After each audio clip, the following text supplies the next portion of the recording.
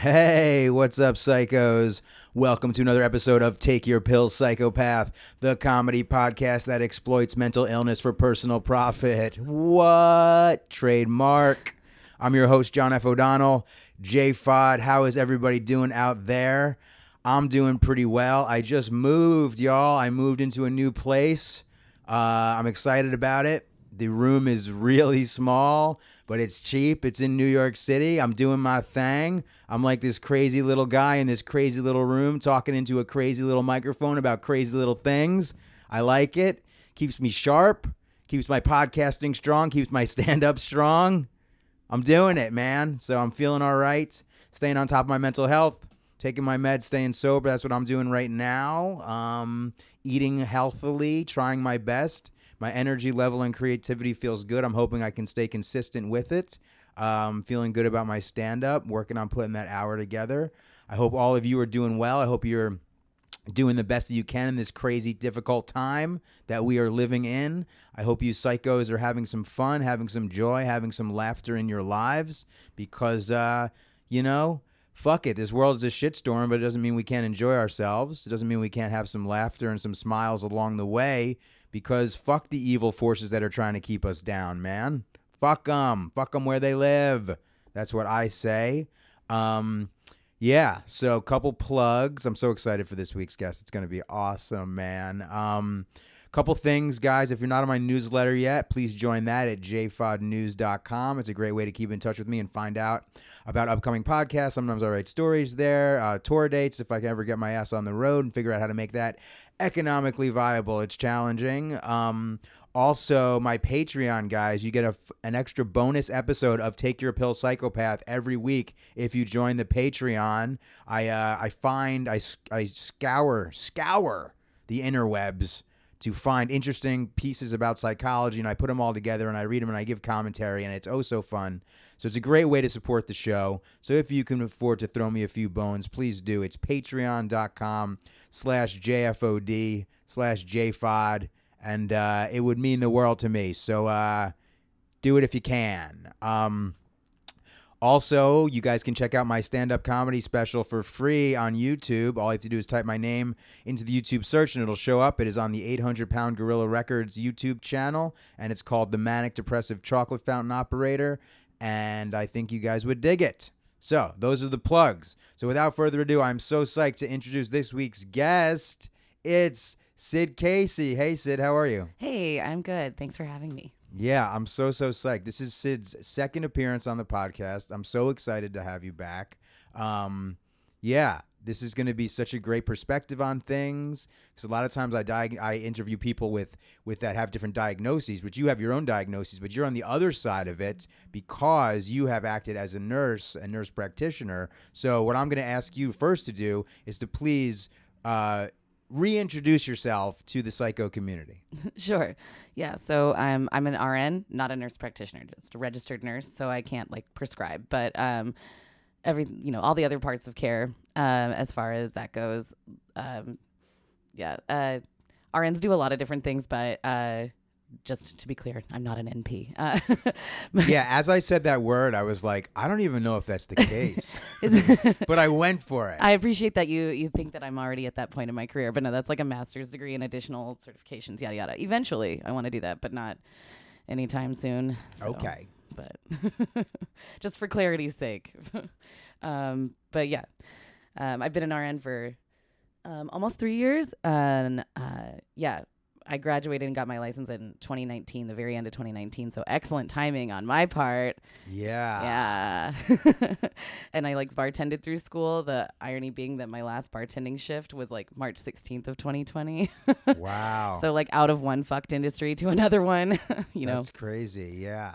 So like I think the pandemic was announced 4 days after that March 20th, right? Yeah, during that Something shift like that. was like I you know, Or the 18th or something. yeah, no, you're exactly right. During my shift is when like because that was the weekend of like flatten the curve, go home on Twitter and everything, and nobody knew what they were doing, and all of a sudden everybody's an epidemiologist, I guess, and uh, so it was like normally, you know, when you leave bartending, you post on social media, and all your friends come, throw money at you, you give away drinks for free, the whole the whole bit, but of course it was like I don't think I should be promoting that necessarily, Yeah. so like yeah, yeah. you know, and there weren't a lot of people out at the time, so it was like four or five friends, all of them who worked in service industry or something similar. And at one point, all of their phones glowed because it was like De Blasio telling everyone schools are closed now, Yeah. and uh, bars, restaurants, gyms, movie theaters. You guys have 24 hours. Make it count. Go. So everybody looked up at me and was like, "I don't think I have a job." And I was like, "Well." I don't work here anymore, so all these drinks are fucking free. Wow. So- Yeah. it was a weird night though. That's wild. So okay, so tell folks. So okay, so you you became an RN 2019. Yep.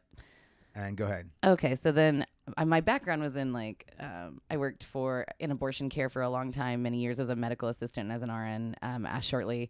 But then I switched to harm reduction services, which I really believe in strongly, and that's you know that's a whole can of worms. But um, yeah, in the end, with uh, all the changes during the pandemic, I jumped around a bunch. I ended up in the nursing homes during the first week of April in 2020, and that was as bad as it sounded. Um, I ended up doing some like, uh, where did I go after that? Oh, the like the vaccine tents, the the f- testing tents, those w- with lines, you know, wrapped around the block. Walking into like temp jobs next to like mobile morgues, it was really awful uh, watching a lot of people pass away was really difficult, and I didn't see it nearly so much as like shout out to the real to the real heroes like the respiratory therapists and the crash teams across the country because that was some real, real traumatizing shit. Yeah. Um, but then in, I got offered my first hospital job in uh, Brooklyn, which was in the psychiatric emergency room, or we call it CPEP, uh, which stands for Comprehensive Psychiatric Emergency Program. Been there, Yeah. done that. I was in CPEP. It's like- I, I shouldn't say that in a bragging tone. No, I like it. been there, been to CPEP. Yeah, it was uh, in DC. They took me there, and uh, it was rough. But honestly, like I feel at the time that's where I needed to be. You know, at least for Yeah. a couple days. But Can, yeah, tell me more about it. Like, what was, how many, like, did you share like a room with other people? How long were you there? well, they had they had. I was. I honestly I don't s- totally remember everything Which makes about a it lot of because I was pretty manic, and then they had me pretty heavily medicated. Mm-hmm. Um, but I remember getting arrested. And so it was like when you get arrested, it's either they're going to take you to jail or they're going to take you to that place. Yep. And um, neither are great options. Yeah, both are Uh, bad. both are bad.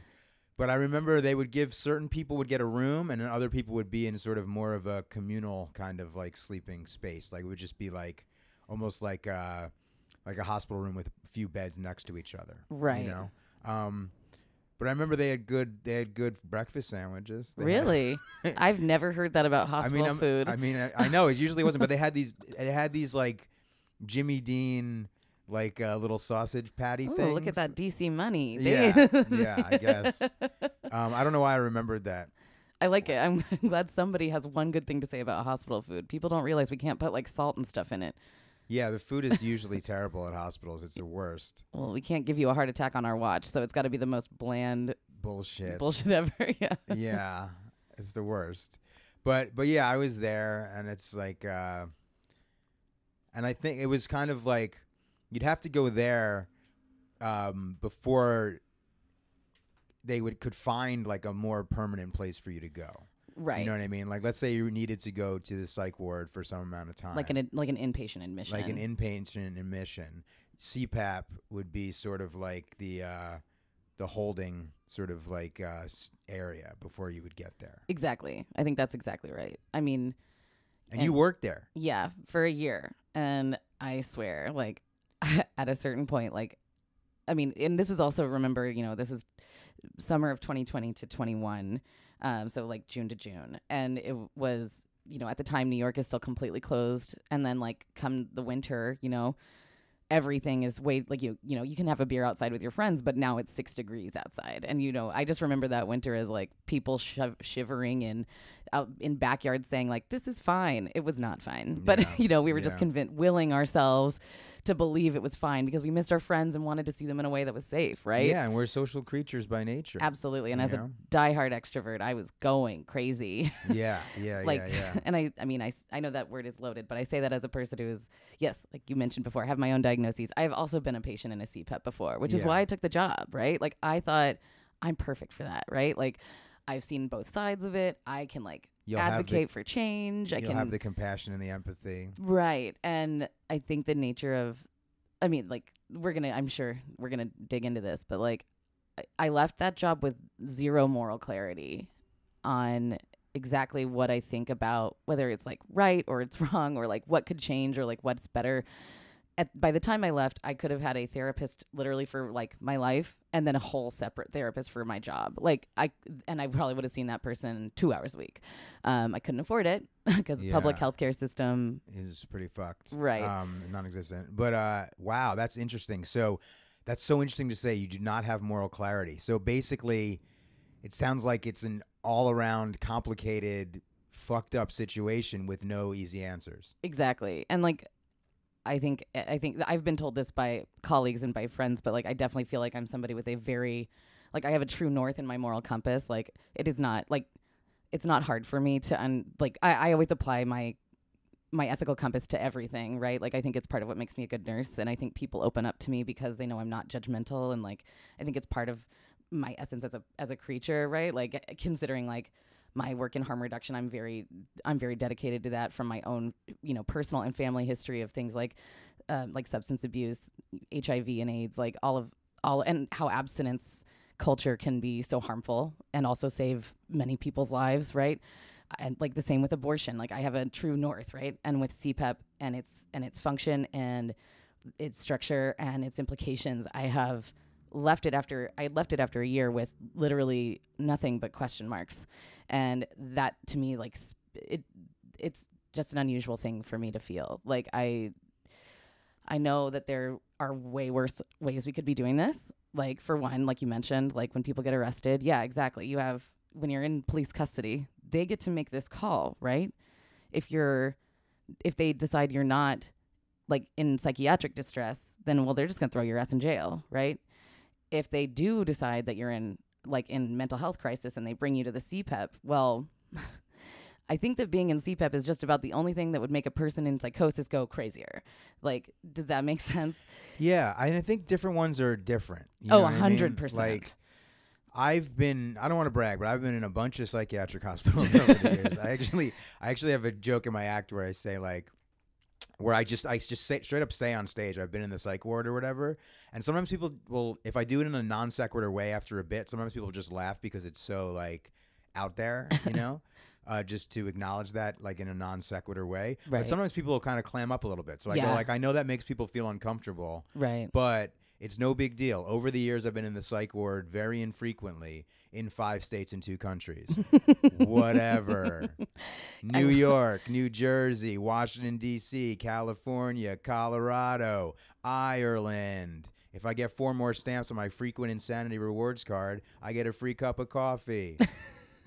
Served to me by the ghost of Teddy Roosevelt. Oh my right? goodness. and, and then I talk about, and then I talk about how when I was in uh, St. Elizabeth's Hospital in Washington D.C., that's actually where John Hinckley Jr. was for a long Ooh, time. cool. Did you guys cross paths? He was already released. Damn But what I say is, I go, Maybe next like, time. he's the dude who shot Ronald Reagan. So I go, like, it's really disturbing because it means I'll never be the coolest person to have been in that hospital. Oh, that's awesome. Not even the coolest person named John. but anyway, that was a little tangent of me doing some of my act for the podcast. I hope that's okay. But uh, he was I, supposed to play Market Hotel recently. Did you see that? I did. And they those cowards canceled oh, it. they did. I heard it was oh, sold yeah. out. No, they can't. Well, they canceled Well, it. it was regardless. sold out. Yeah. People keep telling me. Kept, Their apology was bullshit. I encourage all of you to go to Market Hotel's apology on Instagram. It's piss poor. That's crazy. That's crazy. So I, uh, but anyway, and there's there's been some hospitals, psychiatric hospitals, have been terrible. They're always pretty bad. But there's been Mhm. some that have been better than others. Oh, you know what I mean? sure. And even within the city, there's there's a there's a there's a wide range. Very. Um, and and I think sometimes and I, and the and the CPEP in DC was it was I did not enjoy being there, but looking at it now, it was it was not that bad. And have you ever been to a public hospital, CPEP? Like, so for here, those of you in New York, that would be the health, like New York City Health and Hospital, uh, HHC hospitals. That's so that's Bellevue, Woodhull, Kings County, Jacobi.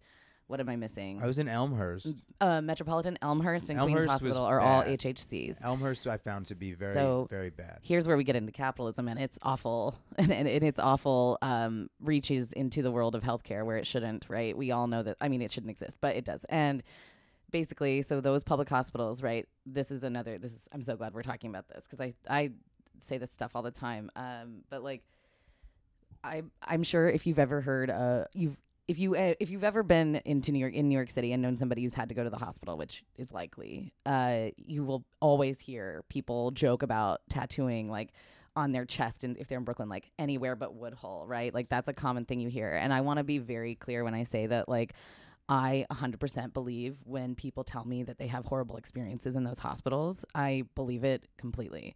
They are so massively underfunded, and those nurses, those nurse to patient ratios, which like California controls by law, right? So they have to hire nurses because it's against the law to assign, you know, and it depends on the department, right? Like in ICU, nurses one, it's one patient, or sorry, it's two patients to one nurse maximum. In psych, it might be like in an inpatient psych, it might be like one to eight you know, who are like mostly stable. But it, basically, that's again in California regulated by law. Welcome to New York City, where we have been destroying hospitals to build condos for years, and that really came to bite us in the fucking ass. Yeah, yeah, like uh, closing hospitals, like getting rid of hospital beds, all sorts of stuff. Shrinking like, nursing programs, uh, making that was all pre-pandemic oh, stuff. yeah, and it really came back to us. Yeah. And, uh, and that was Cuomo and De Blasio. Mm-hmm, and I mean, and also the ghouls that came before them. Yeah. Um, but uh, and, and any real estate really i think all that blood is on the hands of the real estate you know yeah. uh, moguls in this country. But uh and for i guess some are not even here and they control the city. Um but the point being that like these public hospitals i'm not trying to excuse like anybody's like eh, i'm not trying to like wipe away or make excuses for people's horrible experiences in those places. I again 100% believe them. Those those are earned. Those are like the reputations are earned. However, I really don't think it like I don't think it lies at the feet of the nurses and the doctors and the ancillary staff who are massively underpaid. Thank God they're in, they're in unions. They show up every day and do it anyway. And when they, you know, when they do this for like, you know, 28 fucking years, like I knew nurses who were there for 28 years. And it will beat the compassion out of you.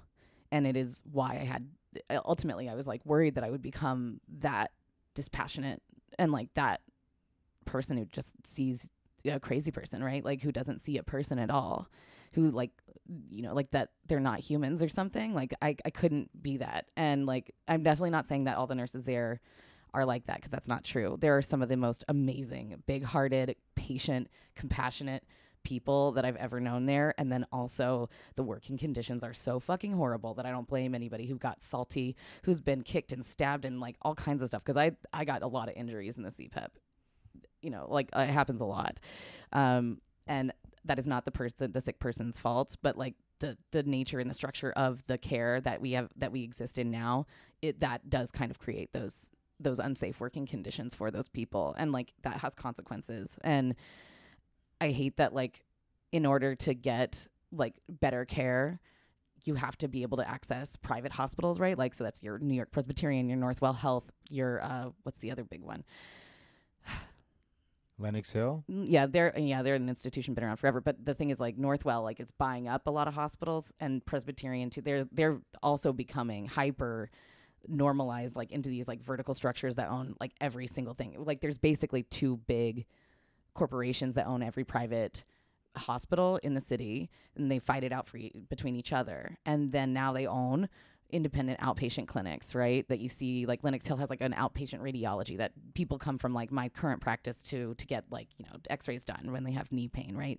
Um, but now also insurance companies are buying um, whole chains of uh, like Walgreens and CVS are owned by Aetna and by United Healthcare they're eventually you're going to have to go to the same owned pharmacy, clinic, hospital. And if you end up at the wrong one, well, I guess fuck you. You owe $22,000 for having the gall to, I don't know, make a child and like try to have a family in this fucking world. Like, that is the future. The dark visions of the future is all you're gonna get from me. Holy um, shit! Uh, that, that's all you're gonna get from me. So I, I again strap in, psychos. We're finding out about the uh, evil corporate consolidation of the uh, healthcare world to a, net, a new level of fucking insanity. So Syd, I was the last hospital I was. So I, you know, so I November 2020 or like October, late October, November 2020, I was like falling off the rails. I was really stressed out. It was, you know, it was kind of like height of pandemic time, yeah. things like that. And uh, I ended up having to go to the hospital, and I ended up at Gracie Square Mm-hmm. um, which I thought was interesting. It was like, it was. I mean, they were certainly under resourced and stuff like that, but everybody was trying to make the best of it. You know what I Mhm. mean? And it didn't feel dangerous in there. I'm so um, glad to hear that. You know, uh, and uh, and I mean, so I thought some of the doctors were kind of shitty. I thought the psychiatrist was kind of dismissive or whatever. We can get into that stuff later. But Mhm. uh, but uh, have you heard of Gracie Square? You know, I actually haven't. Is it near like Gracie Mansion? I'm guessing. Uh, it's I'm pretty sure it's like either the Upper East or Upper West Side Oh, sort of okay, yeah. area or something like that. But it's small, and uh, it was funny because when I walked in downstairs, like the uh, the uh, I guess the waiting room or whatever, or like the the uh, administrative entrance was very was re- renovated and looked like very nice and like Oh, modern. that's good. But then, but then you took like the elevator up to the ward, and it was just not. it was like the same as every other one. That paint job was old, I'm sure. Yeah, like yeah. still a little bit of lead. yeah, yeah, exactly. But it was funny, like they put like the facade downstairs. You know oh what I yeah, mean? for your family to come pick you up and see how nice yeah, it looks. yeah, yeah. Um, so that was that. But for the love of God, I really think I am. Uh, I'm optimistic that these days are behind me. Um, but who knows? But anyway, go ahead. Well, I think I mean I'm really glad that um that you have found I know you said earlier like there were times when you found yourself in CPEP that you were said like this is where I needed to be, and I'm glad that I that only see that after the facts, not Well, during the facts. You know what I mean? And also, the CPEP I was in in DC was like, it was relatively small. You know what I mean? sure yeah It wasn't. interesting. It wasn't. I, I have a feeling what it was compared to the one that you worked at are, is is different. I worked at a very large hospital. Um, in the pu- it's an HHC in New York City, so it's a public hospital, and it was a very it was a huge campus. Um, it's it's a- What's HHC? that's the H- New York City Health and Hospitals. Oh, okay. yeah, sorry, that's just another acronym. Healthcare loves acronyms. Um, but yeah, just isn't. It's a large public hospital, and I don't wanna, like want to, for the sake of you know privacy, I'm not going to say exactly which one, but it's a large public hospital here in New York, and it is a trauma center in the medical side. Like it's it's a level one, which means like the, it, they can handle anything. Like I think it's funny when people get anywhere but Woodhull or like tattooed on themselves because I'm like if I get stabbed or shot, do not stop at red lights and take me the fuck to Woodhull, to Kings County, to Bellevue. Do not stop. I don't need your NYU Langone. I need the people who do this all the fucking time. Yeah. And like, not to, I'm not trying to stigmatize those areas, but like, sincerely, these are award winning hospitals when it comes to these kinds of like, these kinds of injuries. And so I, I again, the mistrust and the reputation for poor care is, I agree, probably earned, but also they can also be like award winning hospitals. I think it's funny when people are like, I had a bad time at the hospital. I'm like, yeah, no shit, you're in the fucking hospital. It's not, exactly. it doesn't stand for hotel. That's something that people need to understand as A well. hundred you know? percent. Although Not- and not be- just yeah. psych. I mean, all of them. Yeah.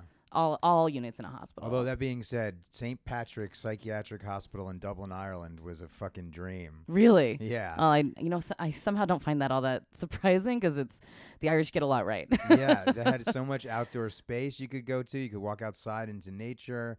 Uh, they had like pottery. They had um, a miniature golf situation. oh my The god, food, that sounds nice. the food was good. And at the time, I don't know if they still would do this, but they let you smoke inside, no, uh, get out. which was the Take me best. there. Yeah, it was like, yeah, and everybody in Dublin smokes a cigarette called Johnnie Walker Blue. That's, no, no, no, Johnny Player Blue. Oh my god, I was gonna say the whiskey, co- the Scotch company's really diversified. Yeah, yeah, yeah. No, not no, not the whiskey, not Johnnie Walker Blue. I meant to say Johnny Player Blue. Ooh, I like it. And uh, Sounds like a I- popper's label. Yeah, it does.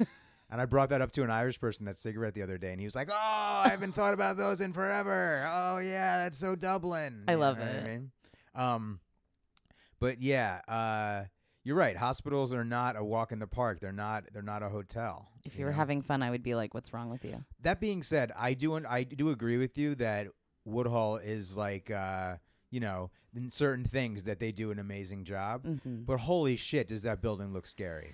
Yeah, the yeah, it's true. And I mean, The building looks fucking horrifying. Yeah, it does. It's true. The the other thing about New York specifically is we definitely are again like not even just with the closed hospitals over the last like 20 years or so, we don't have enough beds for the size of our city, which means they have to shove out and dis- and discharge people who may not be ready to be discharged because they have somebody who's way more acutely ill in the waiting room, right? There are, you know, there are max capacities. And I mean, oh God, we and I haven't even thought of this. We have to talk about what happened last year with like the person who, or this year, I guess, the person who pushed that woman was discharged from Bellevue multiple Oh, times since that happened within only a couple of months.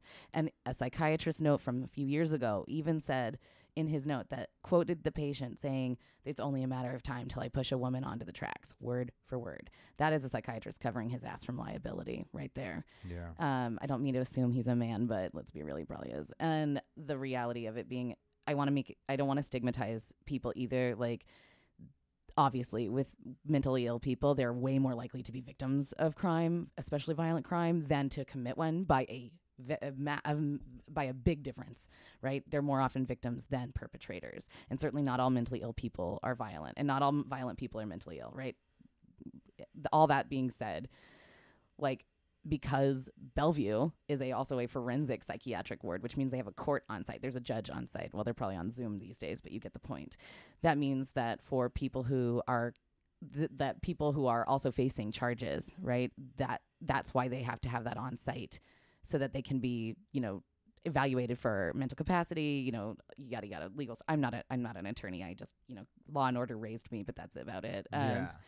but like so in the instances where you see violent crime or something on the train right like you know if there's like for example somebody gets stabbed on a train right the person who's stabbed they bring him to the medical emergency room right well the person who did the stabbing usually ends up in cpep right because chances are that's just you know, if somebody's brandishing a knife at a random subway station, like they're gonna just bring him to us probably once they subdue the person or once you know whatever. And I'm without touching too much on the flaws, the fatal flaws in policing because that would be, I would never stop talking. Um, yeah. It's a whole other podcast. yeah, yeah, and I'm definitely not like the world's expert on it, but obviously a cab. Um, the uh, point being that like that person is a person, right? And they deserve care. They deserve care that sees them as a, an ill person who needs help, right? I don't know that psychiatry can really handle what it is that it's tasked with doing, right? Like you mentioned, that you're heavily sedated, right? Like so people experiencing mania, people you know, we're talking like speaking in tongues or like trying to actively hurt staff, right? Or actively hurting staff. Um, those folks we do have to put them into restraints, right? We do inject people with drugs that we use to sedate the person, hoping that when they come back, right? Like I shouldn't say come back. They're obviously they're still alive. But once they, you know, usually sedatives make people fall asleep and sometimes for very long periods of time. We're hoping that when they wake back up, those neurotransmitters have evened out to a more even keel and that we can actually talk to the person, right? Like that that person is no longer experiencing these like delusions or hallucinations or they're not they're no longer in that like hyperactive state that can hurt that can cause harm to themselves and to others, right? because the bo- the most psychiatry can really do in an acute sense is hope for the best right? Try to put pause on whatever chemical stuff is happening in the brain because it's not it's not like other medicine right? Hiv drug assisted treatment we draw your blood we look at your urine say oh no look your kidneys they they need help. We can't give you this drug because it'll hurt your kidneys even more. We'll try this one right? No such thing in psychiatry. There's no way to like necessarily scan your brain and say oh look that's just a little too much serotonin. Hmm.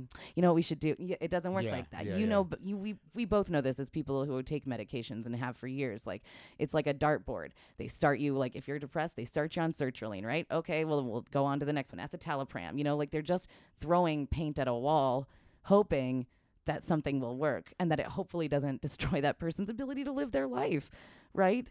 Absolutely. Yeah. It's like it, and it can take a long time to find the right cocktail, as they like to call it. Of course. and it's the sort of thing where it's freaky because and this this used to freak me out more than it does now that they don't understand the mechanisms that make the medication work oh yeah. uh, which is troubling but then i turned a corner yeah you may disagree with me on this but i turned a corner a little bit on and i was like yeah fair enough that sucks but hey at least it works No, you I definitely understand that perspective.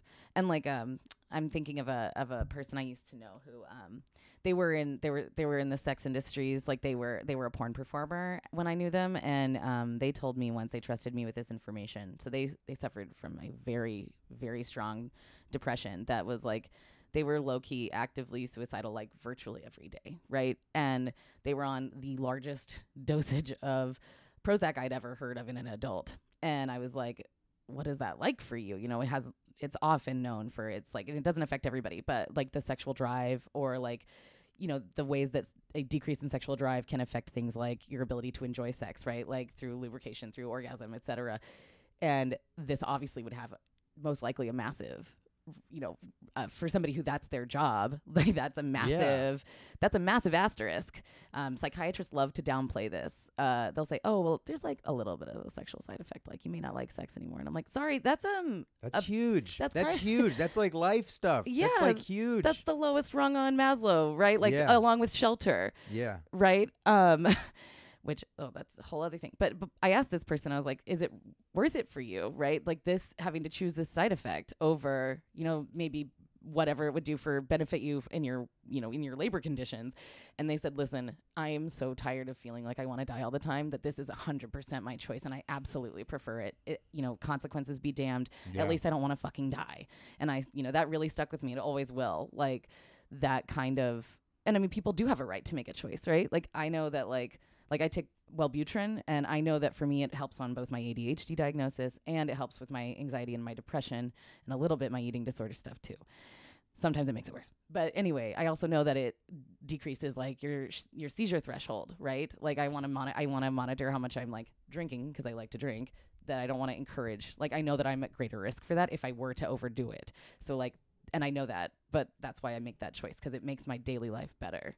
Right. Yeah. And it makes it so that I can get out of bed in the morning, that I feel like I can, like at all, you know? Yeah, and I think that people need to. For some people, medication is part of the picture. It's not the whole picture. Absolutely. I think that for some folks, it should be more of a last line of defense compared to a first line of defense. And I think, or and I think sometimes if somebody's in a really fucked up position, they can be on meds and potentially they can get other things in order, other aspects of their mental health in order, and then decrease or even go off the medication. A hundred percent. You know, and I think It doesn't have to be lifelong. it doesn't have to be lifelong. I think for me, I've just had so many manic episodes, and some of them have been so extreme. And I've really tried. I really tried the alternative route, like the yeah. uh, you really have. You've put in all the work. and I and I and I still exploded. You Yeah. know, so like now I've taken a lot of the positive things from holistic treatment, and I still do them, combined with the uh, you know psychotropic drugs. Um, and I'm on like I'm on such a low level of lithium personally that it it barely registers in the uh, therapeutic range. For, Oh, wow. For my blood, um, because my psychiatrist is like, yeah, that's okay to do Yeah. as long as you're okay, and and it's and it's supplemented with a little bit of Lamictal Okay. and a little bit of Abilify. Um, Interesting. A lot of people say Abilify does nothing for them. I've heard psychiatrists. I'm on I'm this. on five milligrams of it. Yeah, that's you like know the what I lowest mean? adult dose, isn't it? Yeah. So I don't know, but it's like if I can on like I said, if I can stay and I think I might have even said this in the intro. If I can say as creative as I am right now and have my energy level be the way it is and be as engaged as I am, um, I'm just, I feel okay with that. Yeah. You know, I don't know.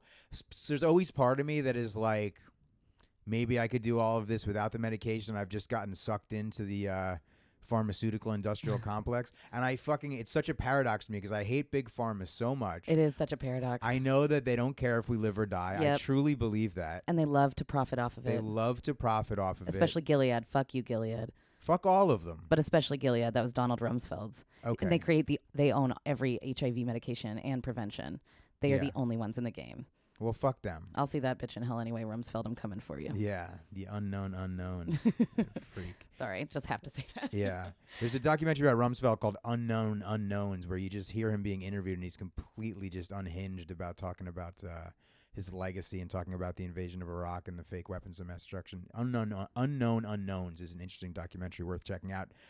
Psychos. Um but yeah, I uh The I paradox. I really I just I can't I yeah, I just can't square that, you know? It's hard, and I, I really, I really identify with that personally because, like, um, I definitely agree that, like, you know, especially with when, with mental health, but also in really any kind of health, the approach cannot simply be we only take pills, right?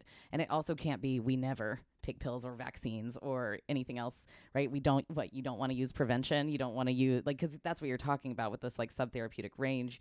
You're saying this for me allows me to have this much like creativity and this much energy and I feel good here and I'm also getting this like benefit of you know having the control over those like those episodes right Potential manic episodes. Because these manic episodes that I've had, is some of your diagnosis bi- bipolar 1 yeah. oh man rough It is. It has been rough.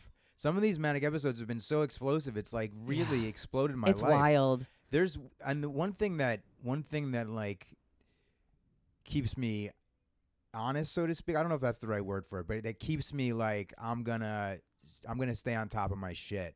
Is like you know I exploded a really important relationship with my Oh, partner. You know, like we were potentially we really saw ourselves being in it for the long haul together, and I'm not even gonna talk much about it because. I'm just not. I probably already. I'm just not because she doesn't want me to, so I'm not going to. very respectful Um, uh, the only thing that I'll say is that I've realized recently, and this sounds this is sad, that, and I said this on a recent episode, but I want to I want to see if, if this resonates or not resonates, but I just want to say it again because it's hard for me to say, is that I know that my actions caused her PTSD legitimately. Right. And like i think i am dealing with ptsd from having caused, Caused that to somebody that i love so much. A hundred percent. And it's has the effect where i don't put too much energy in towards trying to see people because i don't want to hurt anybody. Well you're still healing yeah yeah but I, I think that i need to talk about it and address it I think the hard things, the things that feel hard to say, are the most important ones too. When you're ready, of course. yeah But I think that's and then the next step is uh, cannibalizing it for stand-up comedy oh, of course. Well, that's the natural. that's the natural process, right? That's what I've learned fr- from hanging out with comedians. wow, you guys really do hate yourselves. no I'm just kidding. no i really don't that's why I fit in with you guys. oh, shut up. If there's anybody that des- deserves not to hate themselves, oh my goodness, it's you. Stop it. You do so much good in the world. I I, know you I'm don't. I know you don't like hearing that, saying but that. Uh, I know, I know, I know. But Um, also supporting people who, like, as far as relationships go, with people who are, who, who, if you are with somebody who's mentally ill, which, like, if they're alive, they probably are, um, then like supporting that as a, because I've, I've been both the, I've been both the person supporting somebody else who was in the middle of a mental health crisis and also the one who needed the support in different times of my life. I think probably a lot of people out there can say the same. It is really fucking hard to support somebody no matter how much you love them in the middle of that. And I think it's important to acknowledge that like people have burnout, right? And it breaks a lot of hearts and it's it's fucking hard. The same way that like living with mental illness is fucking hard. And like we don't we don't always come I don't think uh anybody comes out looking great in those scenarios. I think we're all flawed human beings really just trying our best, you know? And yeah, it's complicated, but I think anyway, it just sounds like you're on the road to healing and recovery and like from from like something that is traumatic, right? Yeah, I, I think I am because generally speaking, I feel good and I feel very optimistic about this next chapter. Good. Um, you know, yeah. um, to quote Mariame Kaba, she's like a prison abolitionist. Uh, hope is a discipline, right? It's despair is where we fall. Like these are my own words, but hope is a discipline is something I hold close to my heart. As like in a world this dark, in a world in a time like this, it is important that we like remember that hope, optimism. That's our job. It it is our it is our discipline. And It is the way we move forward. We cannot. We can't. Yeah, if we don't have Despair. optimism, we're done. Yeah, exactly. We're done before we even get started. And besides, who doesn't want to like? I don't know a I don't know a leftist who isn't ready for a big fucking fight. You know. Yeah. So like, let anger light your heart on fire, but like, let hope guide the way. Is like the only way we get through this, and the only way we push push past this. That and sedition. Yeah, yeah, yeah, yeah. that plus sedition. um, so before we move on to the next topic, is there anything else you want to say about uh, your time as a nurse at the psychiatric emergency room?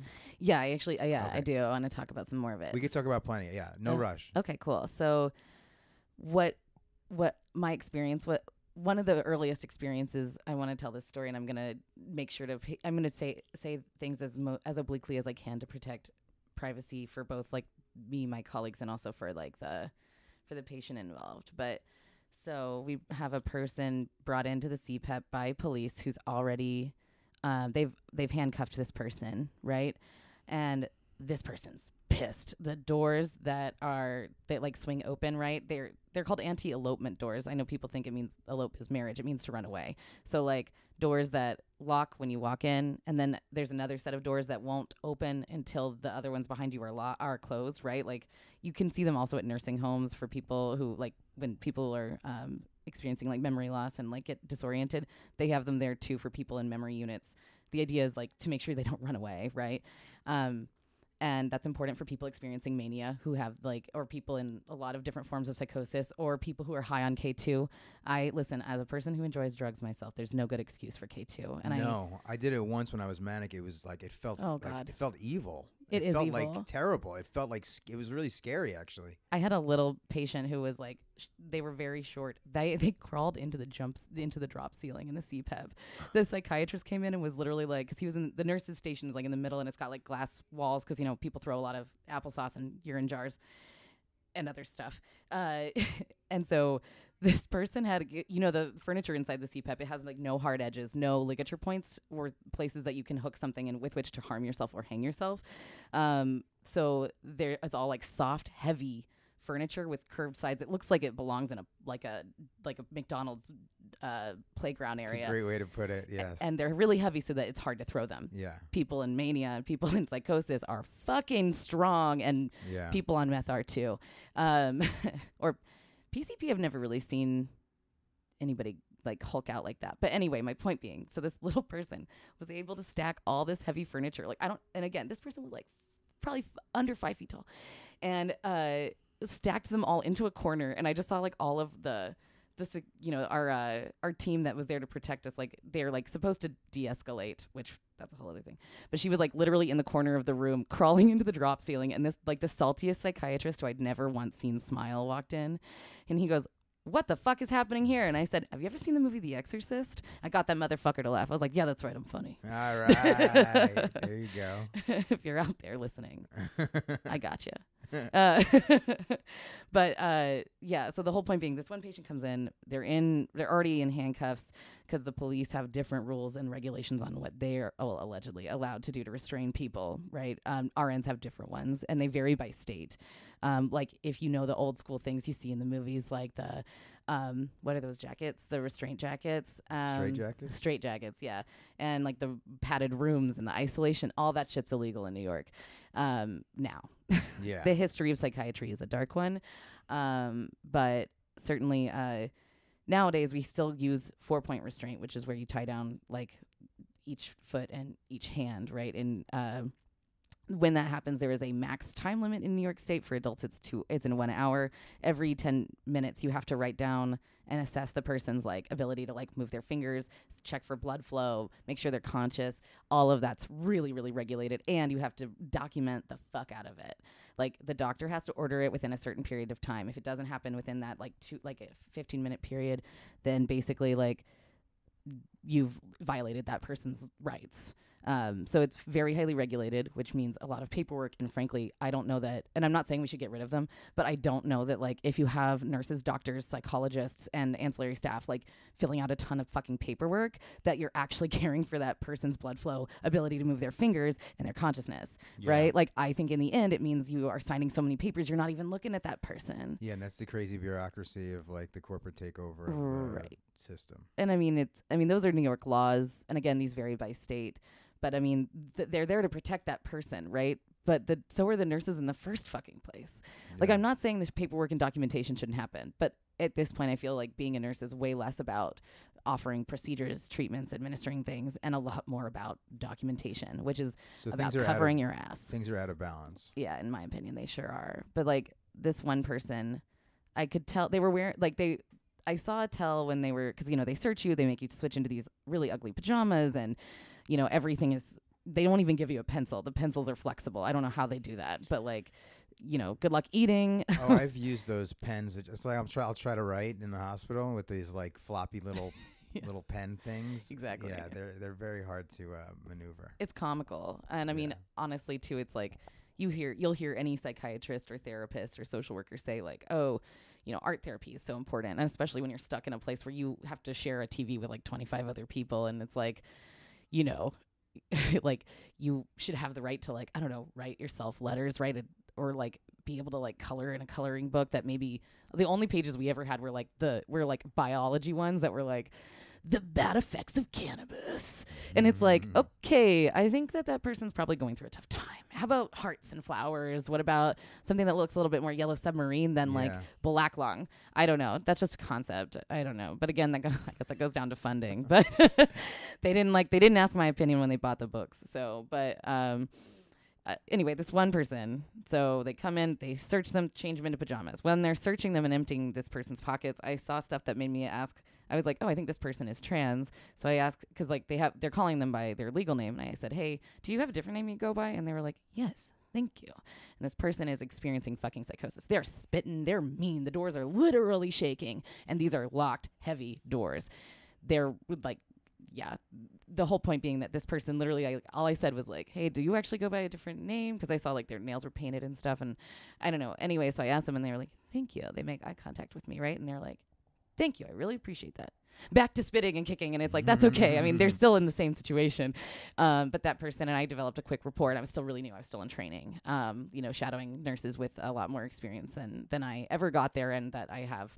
Um, and this person and I were able to develop a good rapport, right? And right before, because you know the, all the doors are locked, so in to enter and leave, like you have to go through like a million anti-elopement doors in case somebody does get out, which people did all the time, so that they don't get into other parts of the hospital. There's like seven fail safes for that. Still happens, but you know.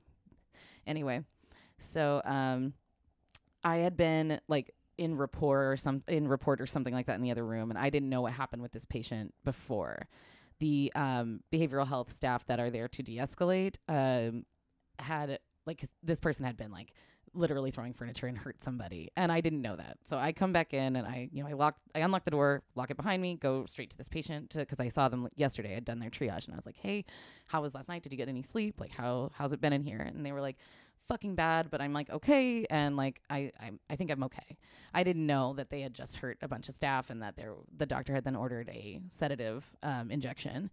And i did not know that behind me 10 really big guys were putting on gloves and that the nurse with the sedation medicine in a in a syringe was right behind me. I'm just talking to this person. They're in like a corner behind a wall. I didn't realize what was happening behind me. I just heard the patient look up behind me and go oh shit. Wow. and I heard n- gloves on, and I turned and I was like, "What the fuck? Why is this ordered?" I was like, "Hold on, this like this person's calmly talking to me. Like we don't need to give them a bunch of Haldol and Ativan. Like they're totally safe and fine right now. They're making eye contact. They're making sense. We're having a regular conversation. But I didn't realize that they had really hurt. Like somebody was out for like over a week, right before I'd walked in that room." And so, of course, this person is surprised because, like, when the doctors order it, first of all, psychiatrists, no offense, but cowards. The nurses and the ancillary staff, the, the less you're paid, spend a lot more time and are a lot more likely to get hurt than those psychiatrists. So when they order sedative medications and this really harsh way of administering them, right? Because most people don't agree to it, you don't want it. Um, that they leave the room, right? Who gets hurt is the lowest paid people on the ladder, the people with the le- le- least access to education, right? To to advance their careers, like people who want to be nurses and doctors, but like come from families where that's just like impossible. And here they are, like getting kicked, right? Like I, I knew a, a woman who was pregnant and she got kicked in the stomach by somebody experiencing psychosis and she lost the baby. oh God. And that's not the worst one I've ever heard. Um, I'm talking like, and, and again, I want to be very clear. I'm not trying to say that like all people w- who are mentally ill do these things. These these people are really fucking sick, and if we're jumping on them and sedating them when we're supposed to be their caregivers, I don't really fault them for trying to hurt other people. You know what I mean? Yes, yes, I do. But And- what is in that instance there? What's the what's the uh, alternative? There's no good answer. I don't think sometimes- there is. There's sometimes there's just not good answers for this shit. Exactly. And I mean, so in the case where somebody doesn't want the medication, which again is like 100% of the time, um, the big guys hold the person down and then the nurse administers the medication in whatever way we're able to. And if that fight takes a while, I don't, I shouldn't say fight, but if that ability to hold them still so we can give them an injection takes a while, we have to, you know, it, you have to do it fast um, because the, if the person's really strong, we and if, like we can't necessarily hold that person for a super long time, but you want to give a safe injection. But I mean, it's I never went to nursing school to jump on people and sedate people and lock them in a door behind me. You know, like lock them in a room with other people who are also ill and also fucking pissed and being held against their own will. Granted, it might be right, like you said, right? If that person was brandishing a knife at a subway station right before they came, it's probably best that they're there. It's certainly better than jail. Low hurdle, but it's better than jail. Yeah. But like leaving that job, like drawing up medication in a room where the walls are literally shaking because the person who's restrained and in handcuffs and in NYPD custody is like making the the walls of the hospital literally shake. And like my hands are shaking because it's nerve wracking and I'm scared too. And like doing that sometimes I would have to sedate people in like I'm talking in the the numbers of like you know like one time I did 22 in a 12 and a half hour shift and that is a lot Wow. that I was really surp- and when sometimes they don't work right sometimes we have to jump on people again and I yeah I just ended up feeling like like I worked in the Department of Corrections instead of instead of in healthcare and it's funny because uh, the first job offer I got as an RN was actually Rikers. and so I thought about it because I knew some doctors who trained there and some really cool radical lefty ones too. Like, um, shout out to Dr. John Giftos. Um, he was the medical director at Rikers until right before the pandemic, and I think we, I think I actually shouted him out on the last one. He was like any YouTube clip you find of like talking heads on news channels during that time talking about compassionate release because people in prison were super exposed and needed to be released, right? Like you'll see Dr. John Giftos. But so I know lots of doctors who've trained there and I reached out to them. I was like, what do you think? Should I take this job? And one of them said to me, it's tough as fuck and it's it's important work. Those people deserve care, but let it radicalize you because it's really harrowing. And I, in the end, turned it down because they wanted me to get my own uh, malpractice insurance. And I said, I'm a nurse, not a doctor, and uh, my union's supposed to pay for that. They were like, "You, they do, but you should have additional." And I was like, "Yeah, I think I'm gonna pass. That's crazy. I'm gonna pass on that." But then I feel like I ended up in a place that's basically Rikers anyway Yeah. maybe with a lower death rate, but not by much, because you know there's a lot of there's a lot of stories um, about mistreatment that has happened. Like at Kings County in 2008, there was a woman who was um, on the ground dead for several hours, and nobody noticed. Multiple nurses check like walk past her. Security guard nudges her with his foot in this footage. I mean, this is 2000 fucking eight. This is not long ago. And of course, when that happened, obviously everyone was fired and they tore the building down. And then they built a new department that, of course, you know, with that history is, you know, again, it's back to that like that reputation. That reputation's earned because they did it, Yeah. right? And when people mistrust those systems because they can't trust them, it is our job as providers, as as healthcare professionals, to earn that trust back.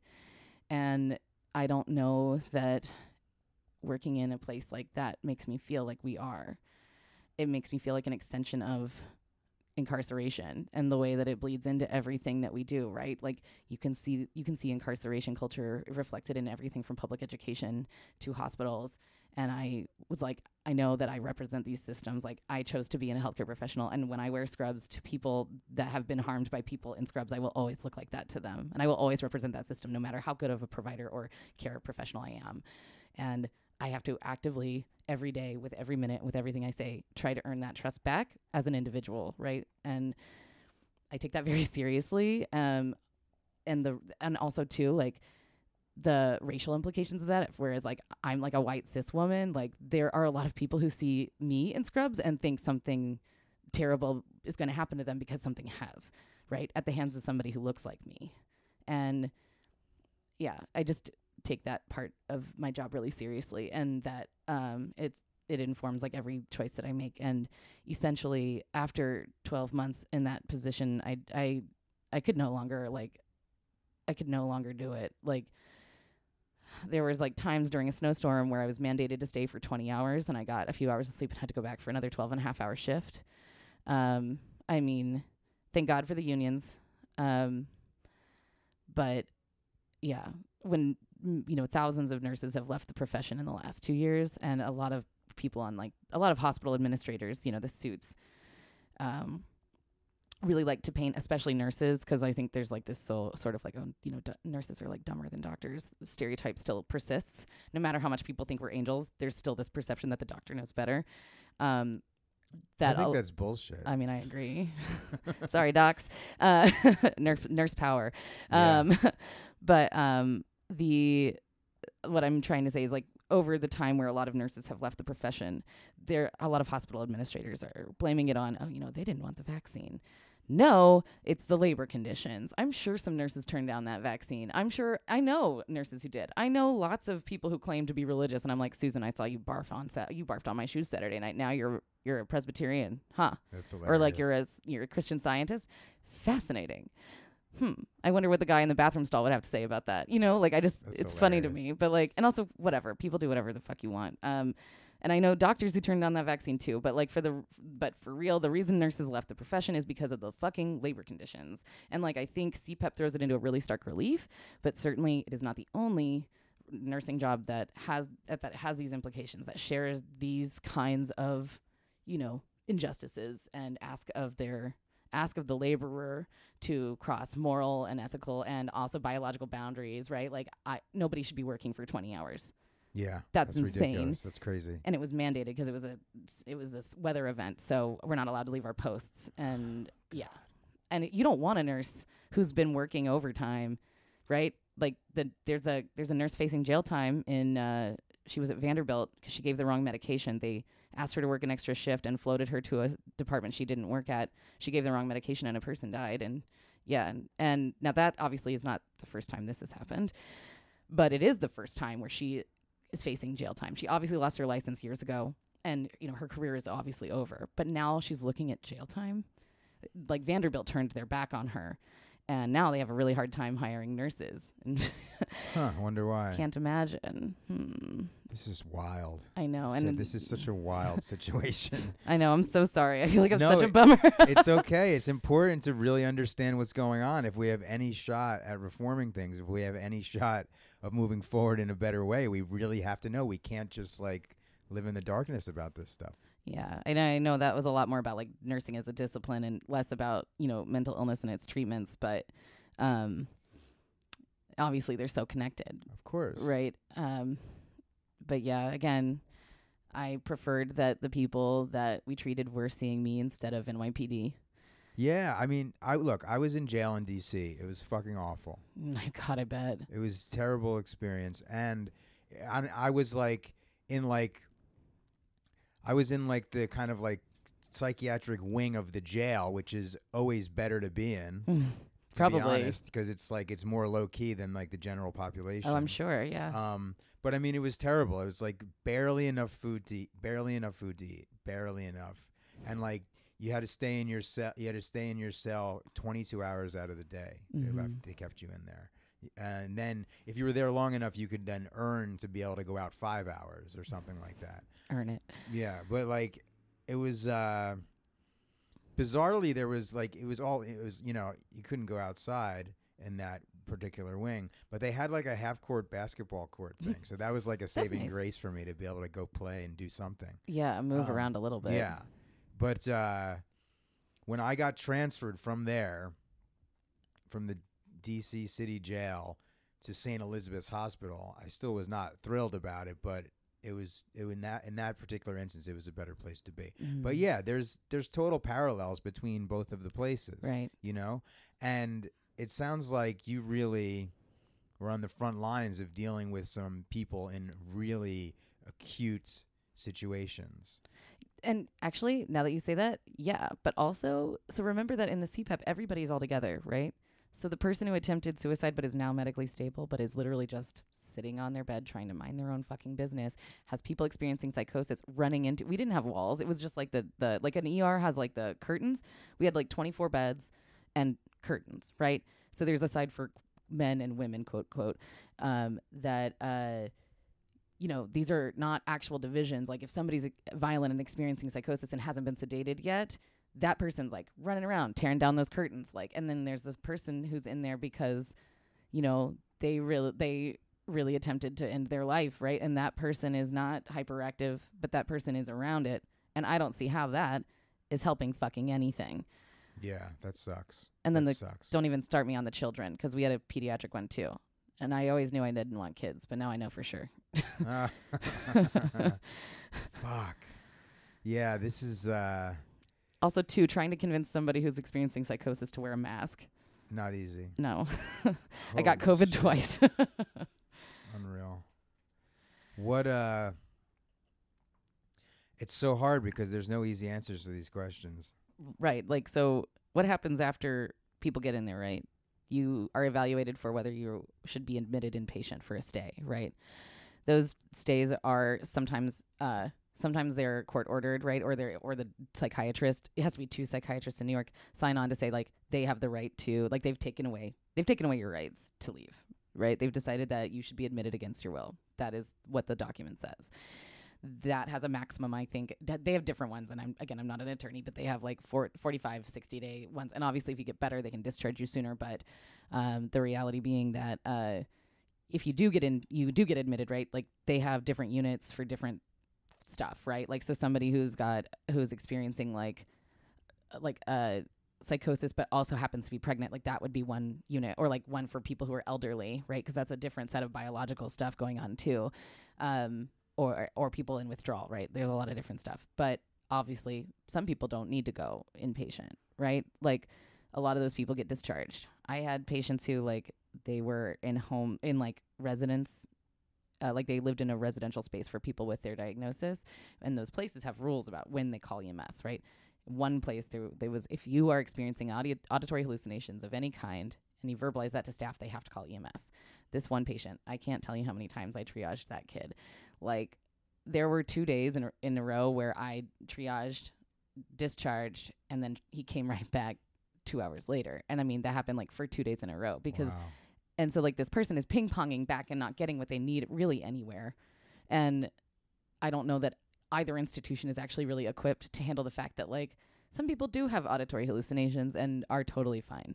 Right? Like they're not hearing commands. They are also they are aware that they're hallucinations. They are in their they're they understand what they are and can and and probably hate them, but probably can keep going with they can take care of themselves, right? Like there's no such thing necessarily as like like when we say like stable in psychiatry, it like varies so wildly from like like somebody who is at one moment experiencing like mania versus like okay now they're they're they've come back down and they're a little bit more like even keel right? All of that like like w- when d- when do we uh, decide that like because sometimes the symptoms don't ever go away or they might stick around for a long time right? Like um i'll share a self-disclosure thing so i had i had su- such bad depression when i was a- when i was like 18 that um, i had like a i had a psychotic like episode and like had like psychotic delusions and auditory hallucinations it was really fucking scary um I almost never get them now. It has been a long time, but then when I'm like doing really poorly, I I can I do I do still have them.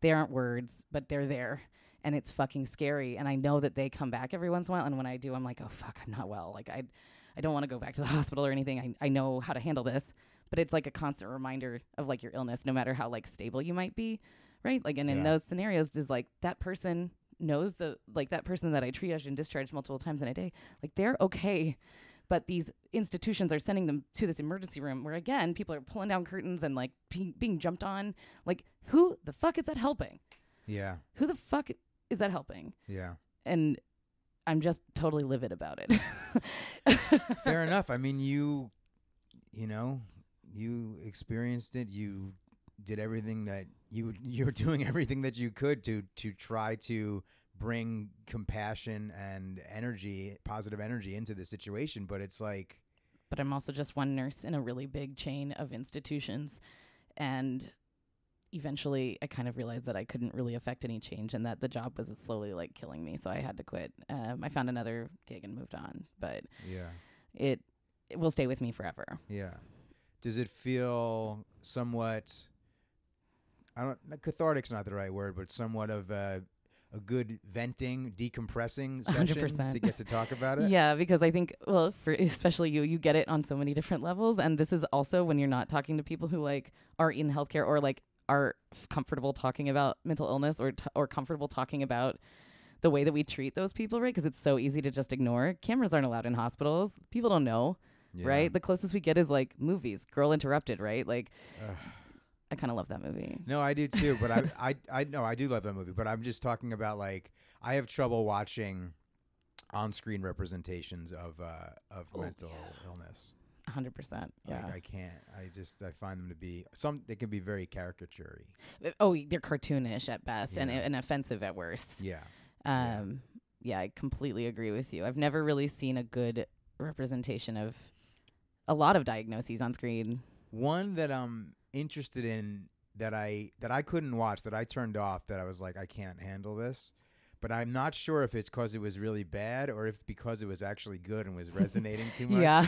I really don't know. Which one was it? Is the character the brother of the brother on Ozark, the brother of Helen Hunt on Oh, Ozarks? I've not seen it, but I hear it's really good. in like the second season or something, towards the end of the second, the brother shows up and he has bipolar disorder. And at one point, he's like really agitated and he's kind of like yelling and creating this sort of scene. And I'm like, can't watch this. no, that's very relatable. yeah, I sometimes yeah, it's the thing like we were saying earlier about like the hard, the hard things to say are like some of the most important things to say. Like Yeah. it kind of feels like watching stuff that is really difficult to watch also might mean that like don't like might mean don't look away, but also maybe do it look look when you're ready. It's fine. Look when you you're what I mean? ready. You don't need to Yeah. re-traumatize yourself. Exactly. I don't. I. I. I don't view myself as somebody who is often triggered. I, which I think is interesting. yeah. But I think maybe that did. I'm I'm very similar. I'm like the feminist with the hot take that I love rape revenge. It's like my favorite subgenre of horror. I think there's no such thing as like what should or should not be allowed in art, but your only responsibility is that, that you have to do it well, right? Like Yes. I'm I have no problem with rape being in films. Obviously, I'm not saying everybody should see them. I'm saying this is my take on things. And as a woman who's experienced violence and at all kinds of things, I am not easily triggered. But when I am, oh damn, it's wild. Yeah. You know what I mean?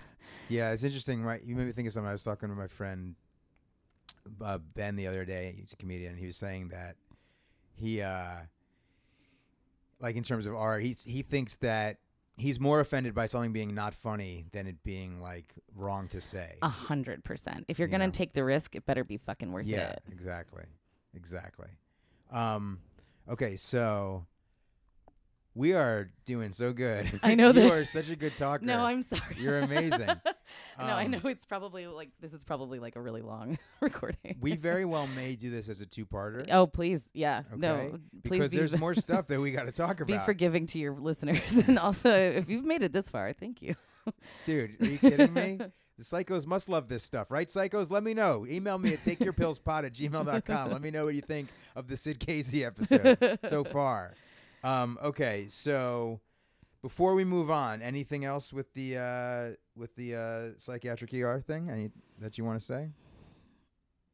I mean, you have said so. You have you have said a lot. a Sorry. amount. No, I, I mean, this is like actually very therapeutic and cathartic. That's amazing. yeah um because it is hard for me to I, like again i you know my background's like you know fucking you know it's like harm reduction like i talk about like overdose deaths and fucking injection drugs and stuff like all the fucking time. And i talk about abortion all the time. And i fucking talk about mental illness all the time. I am wild at dinner parties. I often don't Mm. know like i think i am so grateful for the very like patient and kind friends who have told me like hey trigger trigger warning like we are at like a fancy steak dinner for a friend's birthday. Maybe now's not the right time to discuss the differences between, you know, like medicated, like self managed abortion and medication pills, right? Like maybe that's not the time. and thank you to those of you who have, I'm slowly learning. Yeah, so, but know it's, your audience. but it's so nice to like be able to actually talk about it because, like, yeah, because the shit fucking matters. And again, like, it's sort of like the same with the pandemic. Like, when do you remember people driving by like hospitals and being like, nobody's here? all that shit. all that shit. And it's like, well, they're all inside and cameras aren't allowed. Like, we have security footage, obviously, but like, it's a HIPAA violation in every direction. It's like massive. Like, so you couldn't see the horror. And I wish to God people could. Um, and that's why it's important to talk about this stuff. Like, you know, because you've been on the inside. I have. I don't want to be on the inside anymore. I want to keep you out of that so bad. Um, I really like. uh I was sitting in that in that chair that you're in earlier before you got here, and I was just thinking, because my psychiatrist, she has said to me, she's like, she thinks that I can stay well. yeah, You know what I mean? 100%. And I kind of had like a sigh of relief. It's just like maybe I can just stay well. I totally believe that you can. You're first of all, you're your own best support, right? You have like a really good handle on things and like you are like disciplined in the way that you care for yourself in more than a more than one way, right? Like and that you foster your own creativity. You have a huge group of friends and a community that loves you and supports you. I think those are the honestly the ways that we keep people out of the CPEP, um, right? Like a lot of the people that we had in there were homeless, and it turns out that um, you know, I just I saw a lot of like I guess I do have more to say. The the uh, never run out of things to say. Um, I think it's like f- fascinating to me, like when I would be doing a triage for somebody, right? And it's like a black homeless woman who she uses uppers, right? She hasn't slept in God knows how long. The psychiatrist says to me to the side later, I think she's uh, experiencing paranoia, like paranoia to the point of it being a psychiatric symptom. And I was like, is it that, or is she a woman who sleeps outdoors and has no shelter and takes medication or you know uses drugs in order to stay the fuck awake so nobody hurts her? Is that paranoia or is that a very real reality for like a lot of people who live outdoors, people without homes? right? Especially vulnerable people, especially when we're talking about people fin- facing mental illness who are also like women or people of color that like are also over policed, right? It's it's like, well, if the police were going to take her to jail, I'm glad she seems a little crazy so that she can come see us instead. Yeah. At least we give drugs. Yeah. Not yeah. meth though, unfortunately.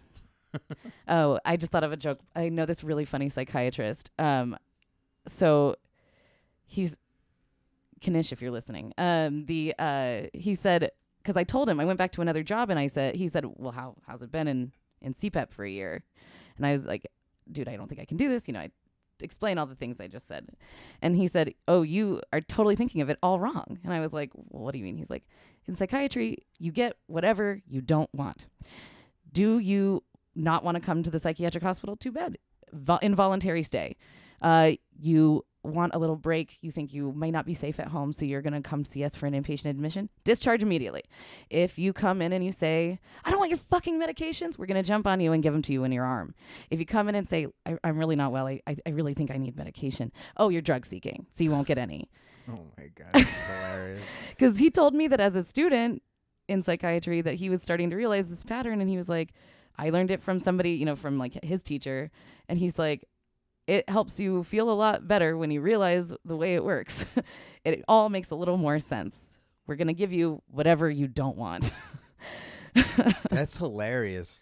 So listen, um that is that is bleak and dark. Um so Syd, what do you think about psychiatry? I'm so glad you asked.